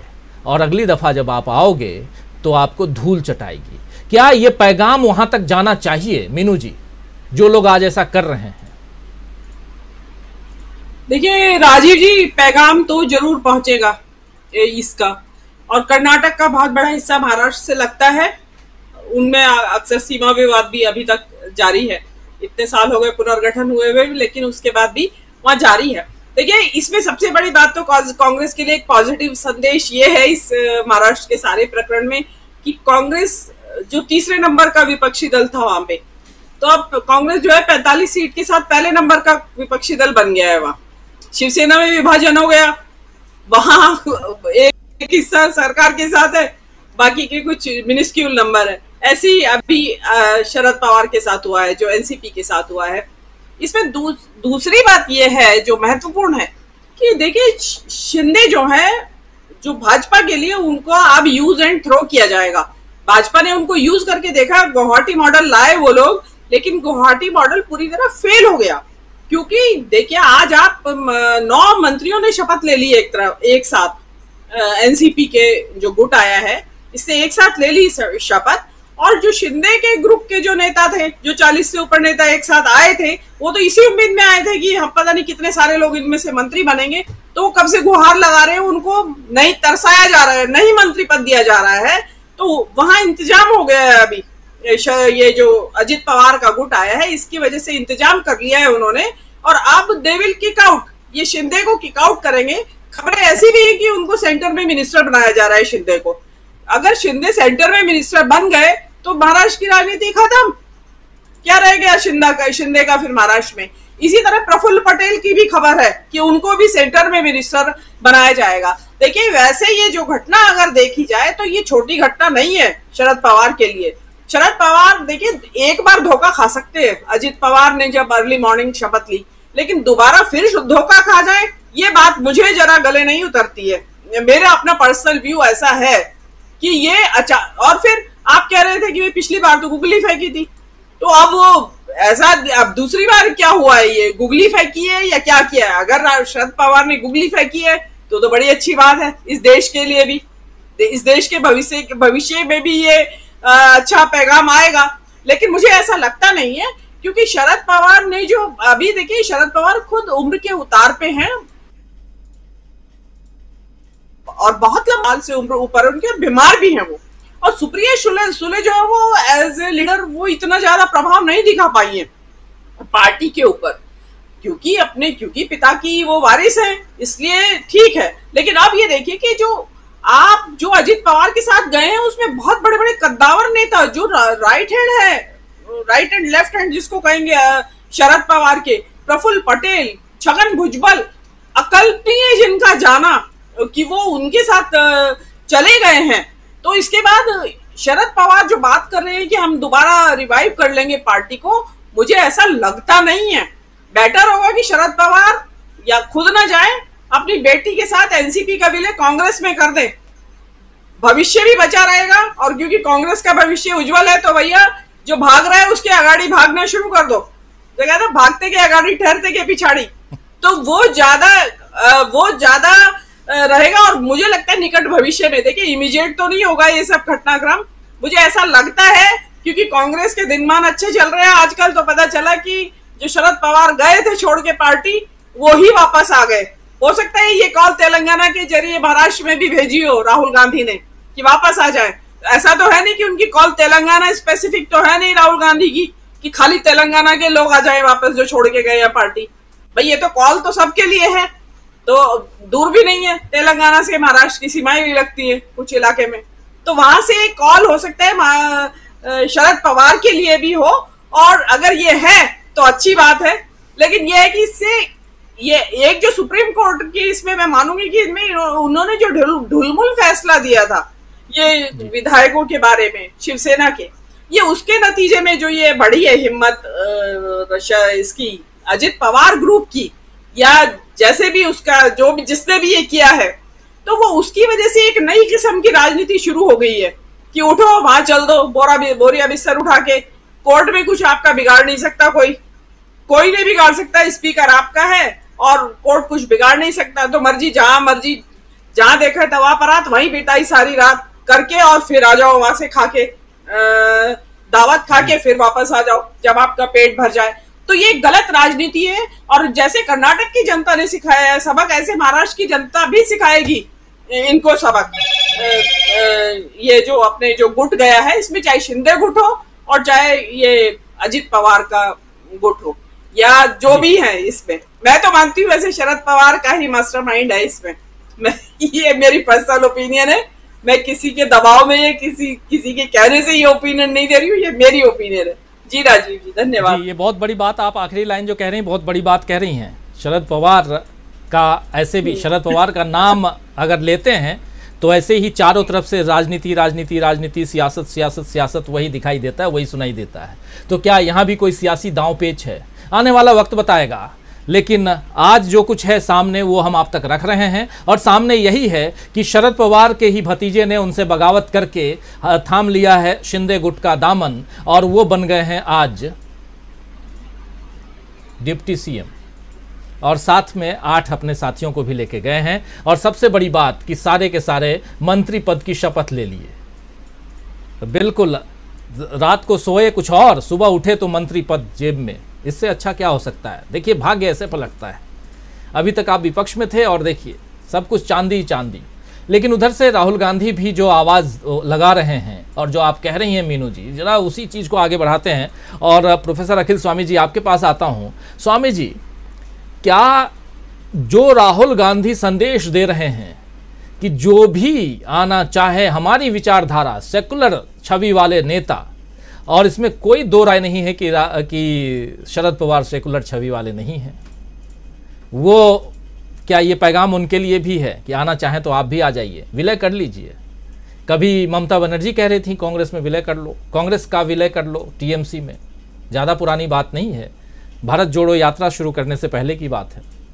और अब भारत जोड़ो यात्रा के बाद से परिस्थितियाँ देखिए कैसे बदल रही हैं। ये चक्र जो है, वो बदल रहा है। और बदलते हुए चक्र में राहुल गांधी ये पैगाम भेज रहे हैं कि जिनको आना है, आ जाओ। ये पैगाम कितनी दूर तक भेजा गया है, जरा इसकी समीक्षा करना चाहता हूँ। प्रोफेसर अखिल स्वामी जी। देखिए, वास्तविकता में राजीव जी, अगर आप देखें, हमारे पुरातन काल से हमेशा से जब भी कोई युद्ध हुआ है, उसमें जीत किसकी हुई है? सत्य की जीत हुई है, और प्रेम की जीत हुई है, और जिधर धर्म था, उधर जीत हुई है। चाहे वो रामायण काल को देख लीजिए, महाभारत काल को देख लीजिए, और मैं देख रहा हूँ उसकी पुनरावृत्ति हो रही।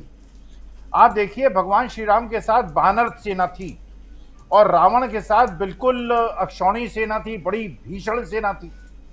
यही हुआ जबकि महाभारत हुआ, महाभारत काल में एक तरफ़ केवल पांडव थे, और दूसरी तरफ़ जो थे, पूरी सेना थी कृष्ण की, और सेना जो थी पांडवों की सेना से बहुत बड़ी थी। आपने ये भी देखा कि पांडव की जीत इसलिए हुई कि उनके साथ सत्य था धर्म था। जो भगवान श्री कृष्ण थे वो धर्म और सत्य के प्रतीक थे। धर्म के प्रतीक क्यों थे? क्योंकि उन्होंने नारी की अस्मिता के लिए लड़ाई लड़ी थी। क्योंकि उन्होंने अधर्म के नाश के लिए लड़ाई लड़ी थी तो, तो वास्तविकता में मैं कोई अतिशोक्ति नहीं कर रहा हूँ इसे कृपा करके अतिशोक्ति न समझे। आज के तारीख में जो राहुल गांधी लड़ाई लड़ रहे हैं एकमात्र योद्धा हैं। इसीलिए विपक्ष के सारे नेताओं ने राहुल गांधी को अपना नेता मान लिया है, जो सात महीने पहले तक राहुल गांधी को नेता ही मानने को तैयार नहीं थे। उसका कारण यह है कि उस मणिपुर में जहाँ पे भीड़ किसी को भी घेर लेती है, राहुल गांधी को प्यार से घेरती है। तेलंगाना में जिस प्रकार से वहाँ पे रिसेप्शन मिल रहा है राहुल गांधी को, और जिस प्रकार की मीटिंग आप दिखा रहे हैं इसका मतलब यह है कि धर्म जाति से ऊपर उठकर राहुल गांधी को समर्थन मिल रहा है, जो कर्नाटका में मिला और हिमाचल प्रदेश में मिला। देखिए, वास्तविकता में जो मीनू जी ने कहा, मैं, मेरी व्यक्तिगत राय है, मैं उससे बहुत ज़्यादा सहमत नहीं हूँ। उसका कारण यह है कि देखिए, जो राहुल गांधी का अभ्युदय हुआ है, उससे न केवल बीजेपी बल्कि अपोजिशन के भी बहुत सारे नेता परेशान हैं। ये अजीत पवार को भी दिख रहा था कि उनकी जो महत्वाकांक्षा थी और जो ये ऐसे लोग थे जो छत्रप थे, जो समझते थे कि आगे आने वाला समय इनका होगा, उनको ये नज़र आ रहा है कि अब केंद्र बिंदु बन रहे हैं राहुल गांधी।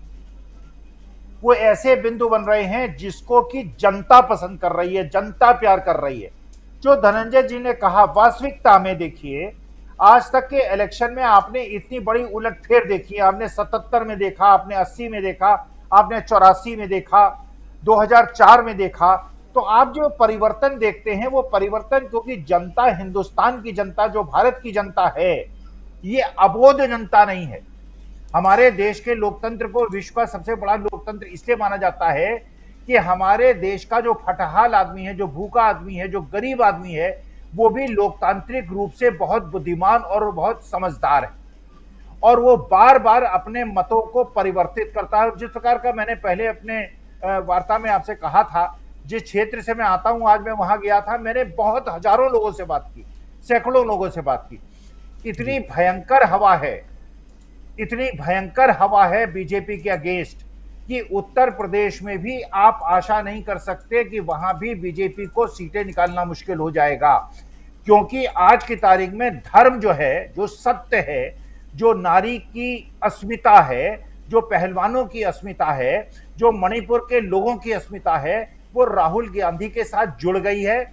और जो भी अजीत पवार जैसे लोग या धनंजय जैसे वो धनंजय जो आपके मुंडे हैं या आपके ये बाकी लोग हैं ये सारे लोग जो इस समय केवल सत्ता के लिए अपना स्थान बदल रहे हैं, ये राजनीतिक परिवेश से अदृश्य हो जाएँगे।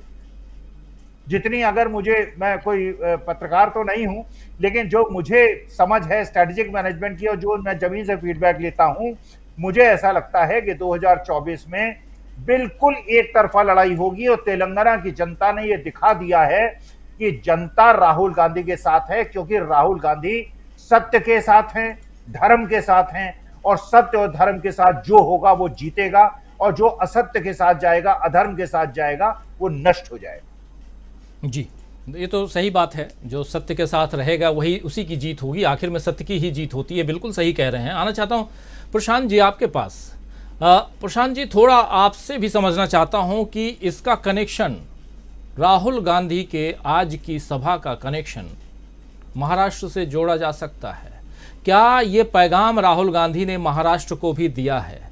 क्या आगे की रणनीति जो अब शरद पवार की रणनीति होगी, खासकर क्योंकि शरद पवार एक मज़े हुए खिलाड़ी हैं, सियासी खिलाड़ी हैं और उनकी रणनीति में कहीं ना कहीं अब कांग्रेस इर्द गिर्द दिखाई देगा। जब भी वो आँखें मूंद करके कुछ और सोचेंगे तो उनको कांग्रेस पार्टी दिखाई देगी।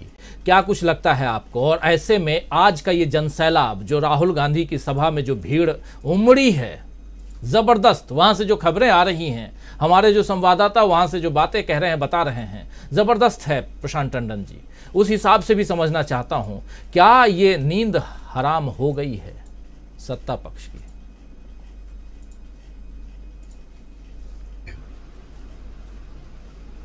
बीजेपी का एक ही एमएलए है तेलंगाना में।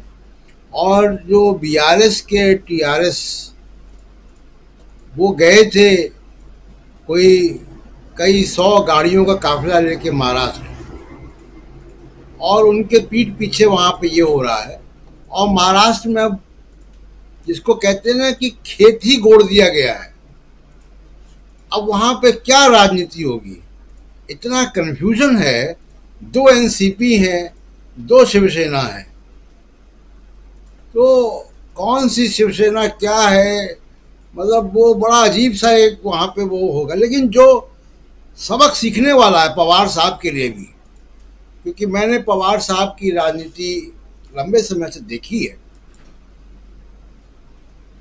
पवार साहब ने काम तो नहीं किया है कि मूल सिद्धांतों से कभी समझौता नहीं किया। वो गुगली फेंकते हैं। ये उनकी आदत है कि वो कोई ना कोई तीन तिकड़म कोई कंफ्यूजिंग सिग्नल ये ज़रूर करते हैं वो। लेकिन मूल रूप से एक जो संवैधानिक सेकुलरिज्म गांधीवाद, इसके इर्द गिर्द ही उनकी राजनीति रही है। इसमें कभी उन्होंने कॉम्प्रोमाइज़ नहीं किया। यानी वो कांग्रेस से बाहर गए भी जब, अलग पार्टी बनाई तो एक बार भी उन्होंने बीजेपी के साथ औपचारिक रूप से समझौता नहीं किया। उनके पास विकल्प था, बाकी पार्टियों ने किया, पवार साहब ने नहीं किया। और जिस जिस सोनिया गांधी का विदेशी मूल का इशू उठा के गए, उन्हीं की पार्टी से समझौता किया।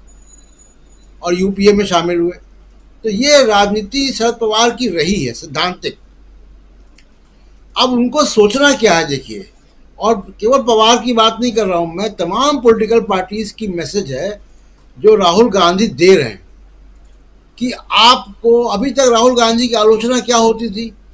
प्रैक्टिकल पॉलिटिक्स नहीं करते।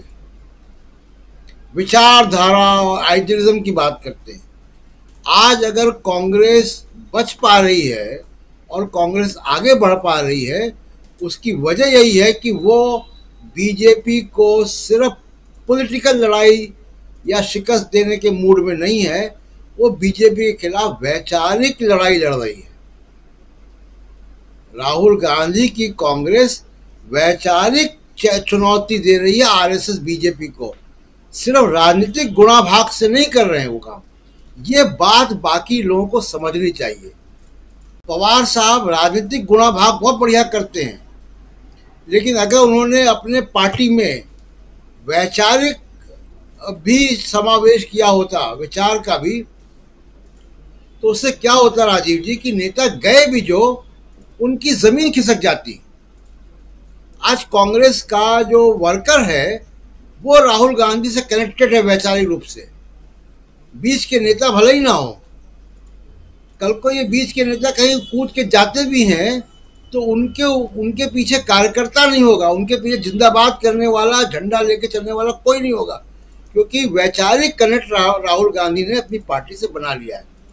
पवार साहब ने भी अगर यही वैचारिक कनेक्ट बनाया होता तो अजीत पवार चले तो गए, लेकिन उनकी दरी नीचे से खिसक जाती। और अभी भी मैं मानता हूँ कि वो जब चुनाव को फेस नहीं कर पाएँगे सबसे इसमें इंटरेस्टिंग बात जिस तरह मीनू जी इशारा कर रही थी, उसको मैं कहना चाहता हूँ कि सबसे एडवांटेज में इस वक्त जो है, महाराष्ट्र की पॉलिटिक्स में, वो शिवसेना है। क्योंकि एक नाथ शिंदे इरेलीवेंट हो गए। चालीस मेंबर हैं एक नाथ शिंदे के। और अब अजीत पवार भी क्लेम कर रहे हैं चालीस। इक्कीस मेंबर बाकी हैं जो अन्य हैं।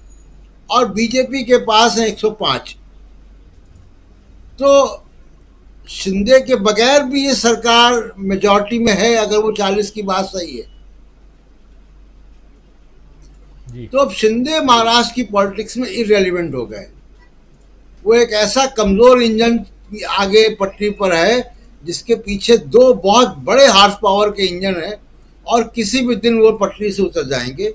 और मैं देख रहा हूँ जो आप कह रहे हैं कि पिक्चर अभी बाकी है। वो पिक्चर बाकी मुझे जो दिखाई दे रही है, वो ये दिखाई दे रही है कि बहुत जल्द वहाँ पे देवेंद्र फडणवीस यानी बीजेपी का मुख्यमंत्री होगा, जिसकी पूरी भूमिका बन चुकी है नंबर गेम के हिसाब से। अब उनको अब उनको शिंदे की ज़रूरत नहीं है तो बहुत जल्दी वहाँ बीजेपी का जो है वो मुख्यमंत्री देखा जाएगा। अब शिंदे साहब केंद्र में रहें कहीं और रहें, वो अलग बात है। तो इसलिए मैं कह रहा हूँ कि सबसे एडवांटेज में जो है, वो शिवसेना है। कि उनकी पार्टी जो तोड़ के गया, वो इरेलीवेंट हो गया। चुनाव से पहले ही इरेलीवेंट हो गया। तो ये होने जा रहा है राजीव जी, चुनाव वहाँ पे। बहुत बहुत बड़ी बात आप कह रहे हैं। पिक्चर क्यों बाकी है? क्यों हम लिख रहे हैं? महाराष्ट्र में पिक्चर बाकी। इसलिए क्योंकि अब शिंदे गुट की जो शिवसेना है, वो इरेलीवेंट है। हमारे साथ धनंजय कुमार जी भी जुड़ गए हैं। धनंजय जी, आपसे भी समझना चाहूँगा, आप सुन रहे थे अभी प्रशांत टंडन जी को। बहुत इंपॉर्टेंट बात यहाँ कह रहे थे कि 105 सीटें बीजेपी की 21 सीटें अन्य की 40 सीटों का दावा कर रहे हैं एनसीपी के अब अजीत पवार। तो 145 सीटें चाहिए सरकार बनाने के लिए और उससे ज़्यादा सीटें ऑलरेडी फडणवीस साहब और अजीत पवार और अन्य को मिला के हो जा रही हैं तो शिवसेना की ज़रूरत क्या? क्या देखिए शिवसेना इसीलिए अजीत पवार को लाया गया है? और क्या इस खेल में कहीं ना कहीं शरद पवार जी भी शामिल हैं? धनंजय जी आपसे बेहतर कौन बता सकता है? देखिए, शरद पवार जिस तरह के पॉलिटिशियन है, वो हार में भी और जीत में भी दोनों में ही अपनी राजनीति कर लेते हैं। शरद पवार की बड़ी खासियत है। वो दोनों तरफ़, आप किधर भी रखिए दाएँ भी उनकी बारी है, उनकी बाजी है, बाएँ भी उनकी बाजी है, शरद पवार इस तौर पे जाने जाते हैं। वो कभी हारते नहीं है। अब बात आई, बड़ा सही बोल रहे थे प्रशांत भाई, कि इसमें सबसे ज़्यादा फ़ायदा तो शिवसेना को है। उद्धव उद्धव ठाकरे को है। कि अब सिंधे जो है, जब ज़ाहिर है साइड लाइन किए जाएँगे, उसका फ़ायदा मिलेगा। और उसकी वजह है, देखिए, अभी जो कहा मोदी जी ने कि भ्रष्टाचार, जो भ्रष्टाचारी होंगे, उनको हम जेल में बंद करेंगे, छोड़ेंगे नहीं, ये गारंटी देते हैं। तो मुझे एक और दिखाई पड़ रहा है। अगर पॉसिबल है संभव है, ऐसा मुझे लग रहा है। कि वो जो अभी 16 विधायक जो विधानसभा अध्यक्ष के द्वारा अयोग्य करार दिए जाने हैं, वो 16 विधायक जो है, वो शायद ये हों जिसमें सिंधे भी शामिल हैं। वैसी परिस्थिति में ये प्रयास किया जाएगा, चेहरा साफ़ करने का, हो सकता है उस उसमें से कुछ लोगों को बंद कर भी कर दिया जाए जेल में। कि देखिए, हमने भ्रष्टाचारियों को बंद कर दिया, ऐसा भी हो सकता है।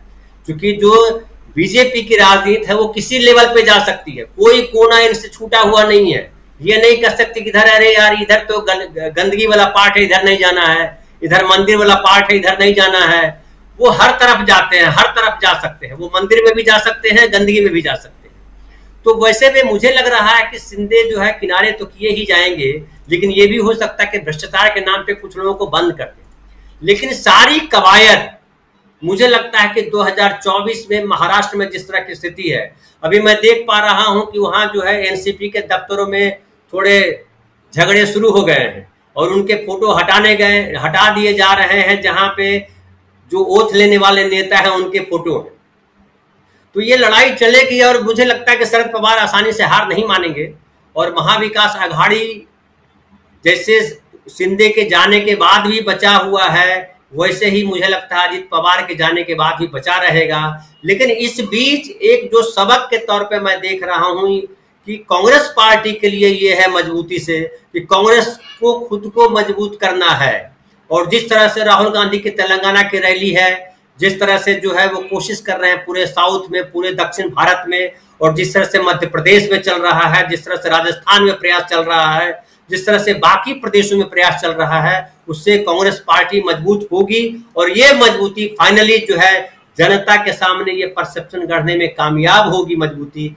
कि मोदी जी को हटाया जा सकता है, मोदी जी का विकल्प है। ये अगर कहते रहे 2019 में लोग कि मोदी नहीं तो कौन? तो मोदी नहीं तो कौन? अब जो राहुल गांधी ने, ये राहुल गांधी जो दिखाई पड़ रहे हैं और जिस तरह से लालू यादव ने कहा है कि आप दूल्हा बनिए, हम जो है बारात बन के चलने को तैयार हैं, बाराती बन को चलने को तैयार हैं तो शायद कांग्रेस पार्टी विपक्ष के सामने दूल्हे के तौर पे होगी। और बाकी विपक्ष के जो लोग हैं, जो छोटे दल हैं या जो राज्य राज्य में जो विपक्ष के दल हैं, वो साथ, शायद साथ खड़े होंगे और एक माहौल बनेगा और जो जनता का परसेप्शन है कि जन, हटाया जाए इनको तो शायद वो मज़बूत होगा।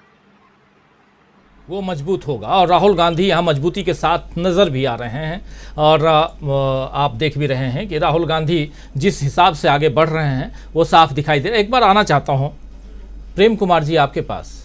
प्रेम कुमार जी, यहाँ पर दो तीन चीज़ें जो हैं अब इंपॉर्टेंट आगे बढ़ते हुए दिखाई दे रही हैं। एक उसमें राहुल गांधी और उनके इर्द गिर्द न सिर्फ़ कांग्रेस की राजनीति, बल्कि अब विपक्ष की राजनीति भी नज़र आ रही है। क्योंकि आप देखिए, नीतीश कुमार राहुल गांधी की तरफ़ देख रहे हैं। आप देखिए, लालू प्रसाद यादव राहुल गांधी की तरफ़ देख रहे हैं। और शरद पवार को अगर देखा जाए तो वो भी राहुल गांधी की तरफ़ देखते हुए नज़र आ रहे हैं। कांग्रेस पार्टी तो है ही। और ऐसे दूसरे दलों के नेता भी। क्या, और यहाँ पर एक दूसरी और भी बात है, जो इम्पोर्टेंट है, जिस पर चर्चा होनी चाहिए, वो ये कि अमित शाह जी राहुल गांधी बनाम नरेंद्र मोदी करना चाहते हैं।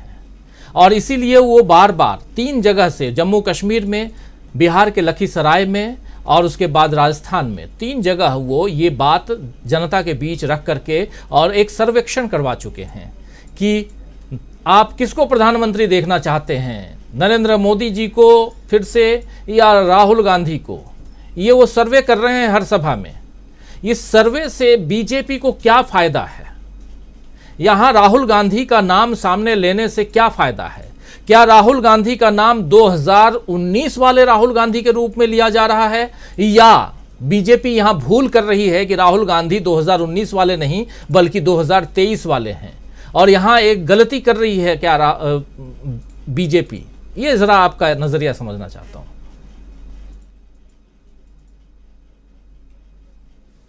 आपने। देखिए अमित शाह जी ने कर्नाटक में क्या किया था, याद है ना? वो जो नंदिनी वाला जो विवाद था, उन्हीं का तो खड़ा किया हुआ था। और कांग्रेस कैसे उसको कर्नाटक अस्मिता से जोड़ के, गुजरात अस्मिता के खिलाफ बातों को रख के कि कैसे इंक्रोचमेंट किया जा रहा है, इस रूप में कांग्रेस ने उस मुद्दे को उठाया। तो हमने उस समय भी कई जगह कहा, कही थी ये बात, लेकिन मुझे बहुत गंभीरता से ये बात नहीं ली गई।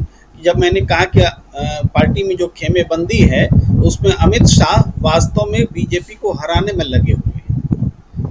तो वो बात साबित हुई, परिणामों में भी जो आप देख रहे हैं, बीजेपी में जो दूसरा ग्रुप था, ब्राह्मण ग्रुप और ये सब, आप कहना नहीं चाहते, मैंने इशारा भर कर दिया, बात समझ में आ गई होगी कि अमित शाह ने कर्नाटक में हराने के लिए काम किया। अब ये जो राहुल गांधी बनाम नरेंद्र मोदी कर रहे हैं ना ये भी वही काम कर रहे हैं अमित शाह। बीजेपी का भला नहीं कर रहे हैं।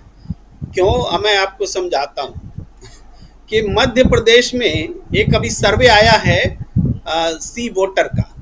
बहुत चर्चा में है ये सर्वे। अब इस सर्वे में एक सवाल ये है कि नरेंद्र मोदी जी जो मध्य प्रदेश में चुनाव प्रचार कर रहे हैं तो क्या इससे बीजेपी को फ़ायदा मिलेगा? तो उसमें 50 प्रतिशत से थोड़ा ज़्यादा लोग बोल रहे हैं कि बीजेपी को इससे फ़ायदा मिलेगा। अब सर्वे है, बहुत उछल उछल के गोदी मीडिया दिखा रही है, लेकिन मैंने कहा इस आंकड़े को उलट कर देखो कि अब 50 प्रतिशत के करीब ये मानने लगे हैं कि नरेंद्र मोदी के जाने से भी फ़ायदा नहीं मिलेगा। ये है सर्वे का वास्तविक परिणाम। तो चीज़ें बदल गई हैं।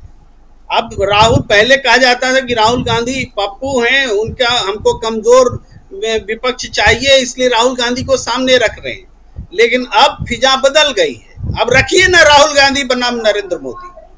राहुल गांधी बनाम नरेंद्र मोदी ही मुकाबला हो और होगा।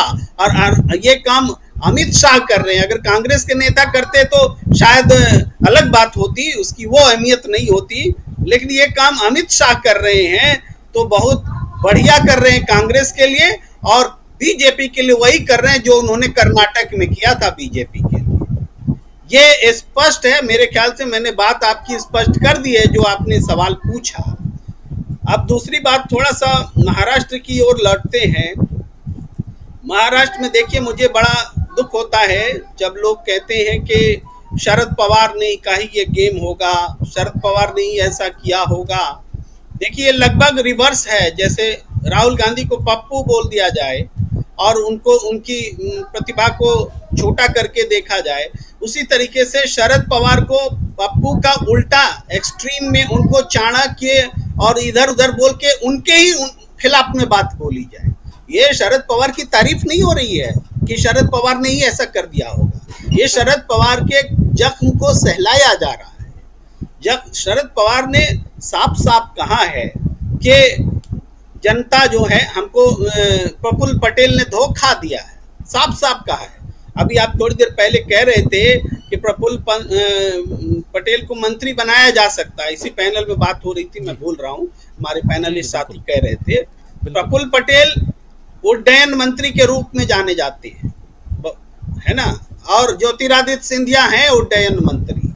अब देखिए कनेक्शन ज्योतिरादित्य सिंधिया का मध्य प्रदेश में क्या बुरा हाल है?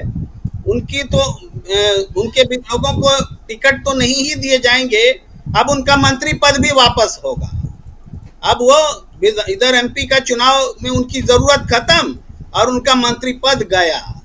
तो कौन आएगा? यही उड्डयन मंत्री लाइन में लगे रहेंगे। ये दूसरे प्रफुल्ल पटेल वाले जो हैं। तो ये पूरा गेम सेट है। इस तरीके से भारतीय जनता पार्टी की जो पॉलिसी है, अपने ही साथ के लोगों को कमज़ोर करना, तोड़ना और इस्तेमाल करना और इस्तेमाल करके फेंक देना। हम थोड़ी देर पहले सुन रहे हैं इसी चर्चा में कि देवेंद्र फडणवीस का कद बढ़ गया या वो बीजेपी के मुख्यमंत्री होने वाले हैं। जब होने वाले हैं, तब होने वाले हैं। फ़िलहाल तो स्थिति ये है कि उनके बगल में एक और डिप्टी सीएम आ गया है। बीजेपी का कद घट गया है। भाई, देवेंद्र फडणवीस के बगल में अजित पवार आ गए हैं। जो कभी मुख्यमंत्री होते थे, वो उप मुख्यमंत्री हो गए और उप मुख्यमंत्री ही नहीं उप मुख्यमंत्री ही नहीं, डी शिव कुमार नहीं बन पाए। कि डी शिव कुमार ने कहा था कि डिप्टी सीएम एक ही होगा और उस पर हुआ। लेकिन यहाँ पर एक ही नहीं, दूसरा थोप दिया गया। तो ये जो देवेंद्र फडणवीस का कद बड़ा नहीं है, छोटा हो गया है, छोटा। और अब परमुटेशन कम्बिनेशन का वक्त नहीं रहा कि उसको मौका दे दो, उसको चौका दे दो। अब तो चुनाव में जाने का वक्त आ रहा है। लोकसभा चुनाव है, सबसे पहले, उससे पहले मुंबई का चुनाव है, तब बाद में विधानसभा का चुनाव है। और चुनाव फेस करने की ताकत तो एक नाथ शिंदे में है ही नहीं। वो तो अपने बेटे का भी चुनाव जीत जाए तो बहुत बड़ी बात होगी। और जिस तरीके से महाराष्ट्र में शरद पवार जनता के बीच कनेक्ट कर रहे थे, उनकी रैली में जितनी बड़ी बड़ी भीड़ जुट रही थी, अब हालाँकि फिर परीक्षा होगी, चूँकि समीकरण बदलते हैं तो चीज़ों को फिर से साबित करना पड़ता है। तो शरद पवार जी ने कोई बहाना नहीं बनाया है। उन्होंने कहा है कि हम पार्टी फिर से खड़ी करेंगे। यानी उन्होंने माना है कि लोग उनके साथ छोड़ कर गए हैं। ये, यही शरद पवार थे तब नहीं माना था उन्होंने जब रात के अंधेरे में शपथ दिलाई गई थी अजित पवार को। और तब अजित पवार के पक्ष में सारे लोग हैं ऐसा दावा किया गया था लेकिन शरद पवार ने आ, कुछ घंटों में कुछ घंटों में एक एक विधायक को अपने साथ जोड़ लिया और अजित पवार अकेले रह गए थे। तब उन्होंने नहीं कहा था कि जनता फैसला करेगी। उन्होंने फैसला किया अभी ज़्यादा दिन नहीं हुए उन्होंने पार्टी का अध्यक्ष पद छोड़ने की जब अपील की थी तो पूरा महाराष्ट्र जो है एनसीपी यूनिट जो है रो रही थी। ज़्यादा दिन नहीं हुआ है। और आज ऐसा नहीं है कि जादुई तरीके से जन भावनाएँ बदल जाएँगी। देखिए, एक छोटी, थोड़ी सी बात कहते हैं, आप जान रहे हैं कि आप अंतिम चरण में हैं, आप बहस के, लेकिन स्पष्ट करना ज़रूरी है। ये हमारी डेमोक्रेसी एक अजीब और गरीब फ़ेज़ पे गुजर रही है। महाराष्ट्र एक ऐसा प्रदेश बन गया है जिसमें कोई पार्टी नहीं जो सत्ता में नहीं रही हो। महाराष्ट्र में जनता ने एक बार वोट दिया, उसके हाथ कट गए। उसके बाद सरकार का बनना बिगड़ना, गठबंधन का बनना, बिगड़ना, इसको आप अगर रेखांकित करने जाए, देखने जाए तो हमें लगता है कि अब जनता सरकार नहीं बना रही है। विधायकों को की खरीद फरोख्त से सरकार बन रही है। भ्रष्ट गठबंधन से सरकार बन रही है। जब चाहे जिस तरीके से पार्टी को तोड़ के दो शिवसेना, दो एनसीपी और इस तरीके से सरकार बन रही है। भाई अभी नरेंद्र मोदी जी ने कहा ना कि गारंटी है कि भ्रष्टाचारियों को जेल में भेजेंगे। उन्होंने कहा था लेकिन भ्रष्टाचारियों को जेल में भेजेंगे जो गारंटी दी उन्होंने उनको मंत्री बना दिया। मन, जेल क्या भेजेंगे? उन्होंने मंत्री बना दिया। तो अब लेकिन इसको बोलने में भी ये बात विपक्ष को देखनी पड़ेगी कि अगर आप अपने साथ रहे नेताओं को भ्रष्ट कहेंगे क्योंकि आप उन, आपके साथ चले गए तो ये विश्वसनीय बात नहीं होगी। विश्वसनीय बात यह है कि बीजेपी अपनी ताकत का इस्तेमाल ऐसी परिस्थिति का फ़ायदा उठाने के लिए, विपक्ष के नेताओं को जेल भेजने के लिए, और जो उनकी बात नहीं मानते हैं, उनको सत्ता में है तो मंत्री रह करके भी जेल जाएँगे। चाहे मनीष सिसोदिया हो, चाहे महाराष्ट्र के मंत्री हो, मंत्री रहते हुए जेल में गए। क्यों? क्योंकि उन्होंने कॉम्प्रोमाइजेस नहीं किए। और जो लोग उससे बाहर हैं जो लोग कॉम्प्रोमाइज कर ले रहे हैं, उनको मंत्री बना दिया जा रहा है। यानी मंत्री अगर आप हैं तो आपको जेल भेजा जा सकता है, और आप मंत्री नहीं हैं तो आपको मंत्री बनाया जा सकता है। पॉइंट वही है करप्शन पॉइंट वही रास्ता वही है सीबीआई ईडी और तरीका है राजनीति का दोहन, अब आपदा में अवसर। तो इस राजनीति को खोल कर जनता के सामने रखने में मुझे लगता है कि शरद पवार सक्षम व्यक्ति है। याद है जब वो बरसात में छाता लेकर के निकले थे, पूरी फिजा बदलती थी इलेक्शन की उन्होंने। और एक बार फिर, और कर्ना कर्नाटक में राहुल गांधी जी ने भी जो बरसात में भीग भीग करके भाषण दिया था लैंडमार्क स्पीच है वो। उसने भी फिजा बदल दी कर्नाटक की। तो इन नेताओं में वो ताकत है।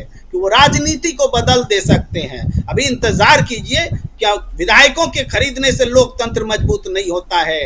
लोकतंत्र जनता को सशक्त बनाने से होता है। अब इसी चीज़ का चुनाव होना है। आपने सरकार बना ली है, आपने ताकत का प्रदर्शन कर दिया है, आपने दूसरी पार्टी को तोड़ दिया है, लेकिन जनता का फैसला आना बाकी है।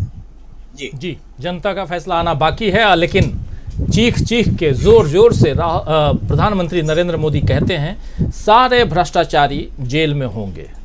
और ये जो कुनबा है, यानी कि विपक्षी गठबंधन जो है 21 दलों का गठबंधन और ये 21 लाख करोड़ रुपए के भ्रष्टाचार करके बैठे हुए हैं, सबको जेल की सलाखों में, ये दावा अमित शाह भी करते हैं कि जो भ्रष्टाचारी थे, उनको जेल की सलाखों में मोदी जी ने पहुँचा दिया।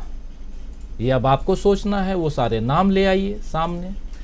नौ साल में किनके ऊपर एफआईआर दर्ज हुई और वो एफआईआर मतलब कि भ्रष्टाचार के नाम पर पिछले नौ साल में आप ज़रा खोजिएगा दोस्तों, और आप भी हमारे पैनलिस्ट साथियों, आप लोग भी खोजिएगा कि पिछले नौ साल में बीजेपी की सरकार ने किन किन भ्रष्टाचारियों के ऊपर एफआईआर दर्ज करवा करके उनको सजा सुनवा दी।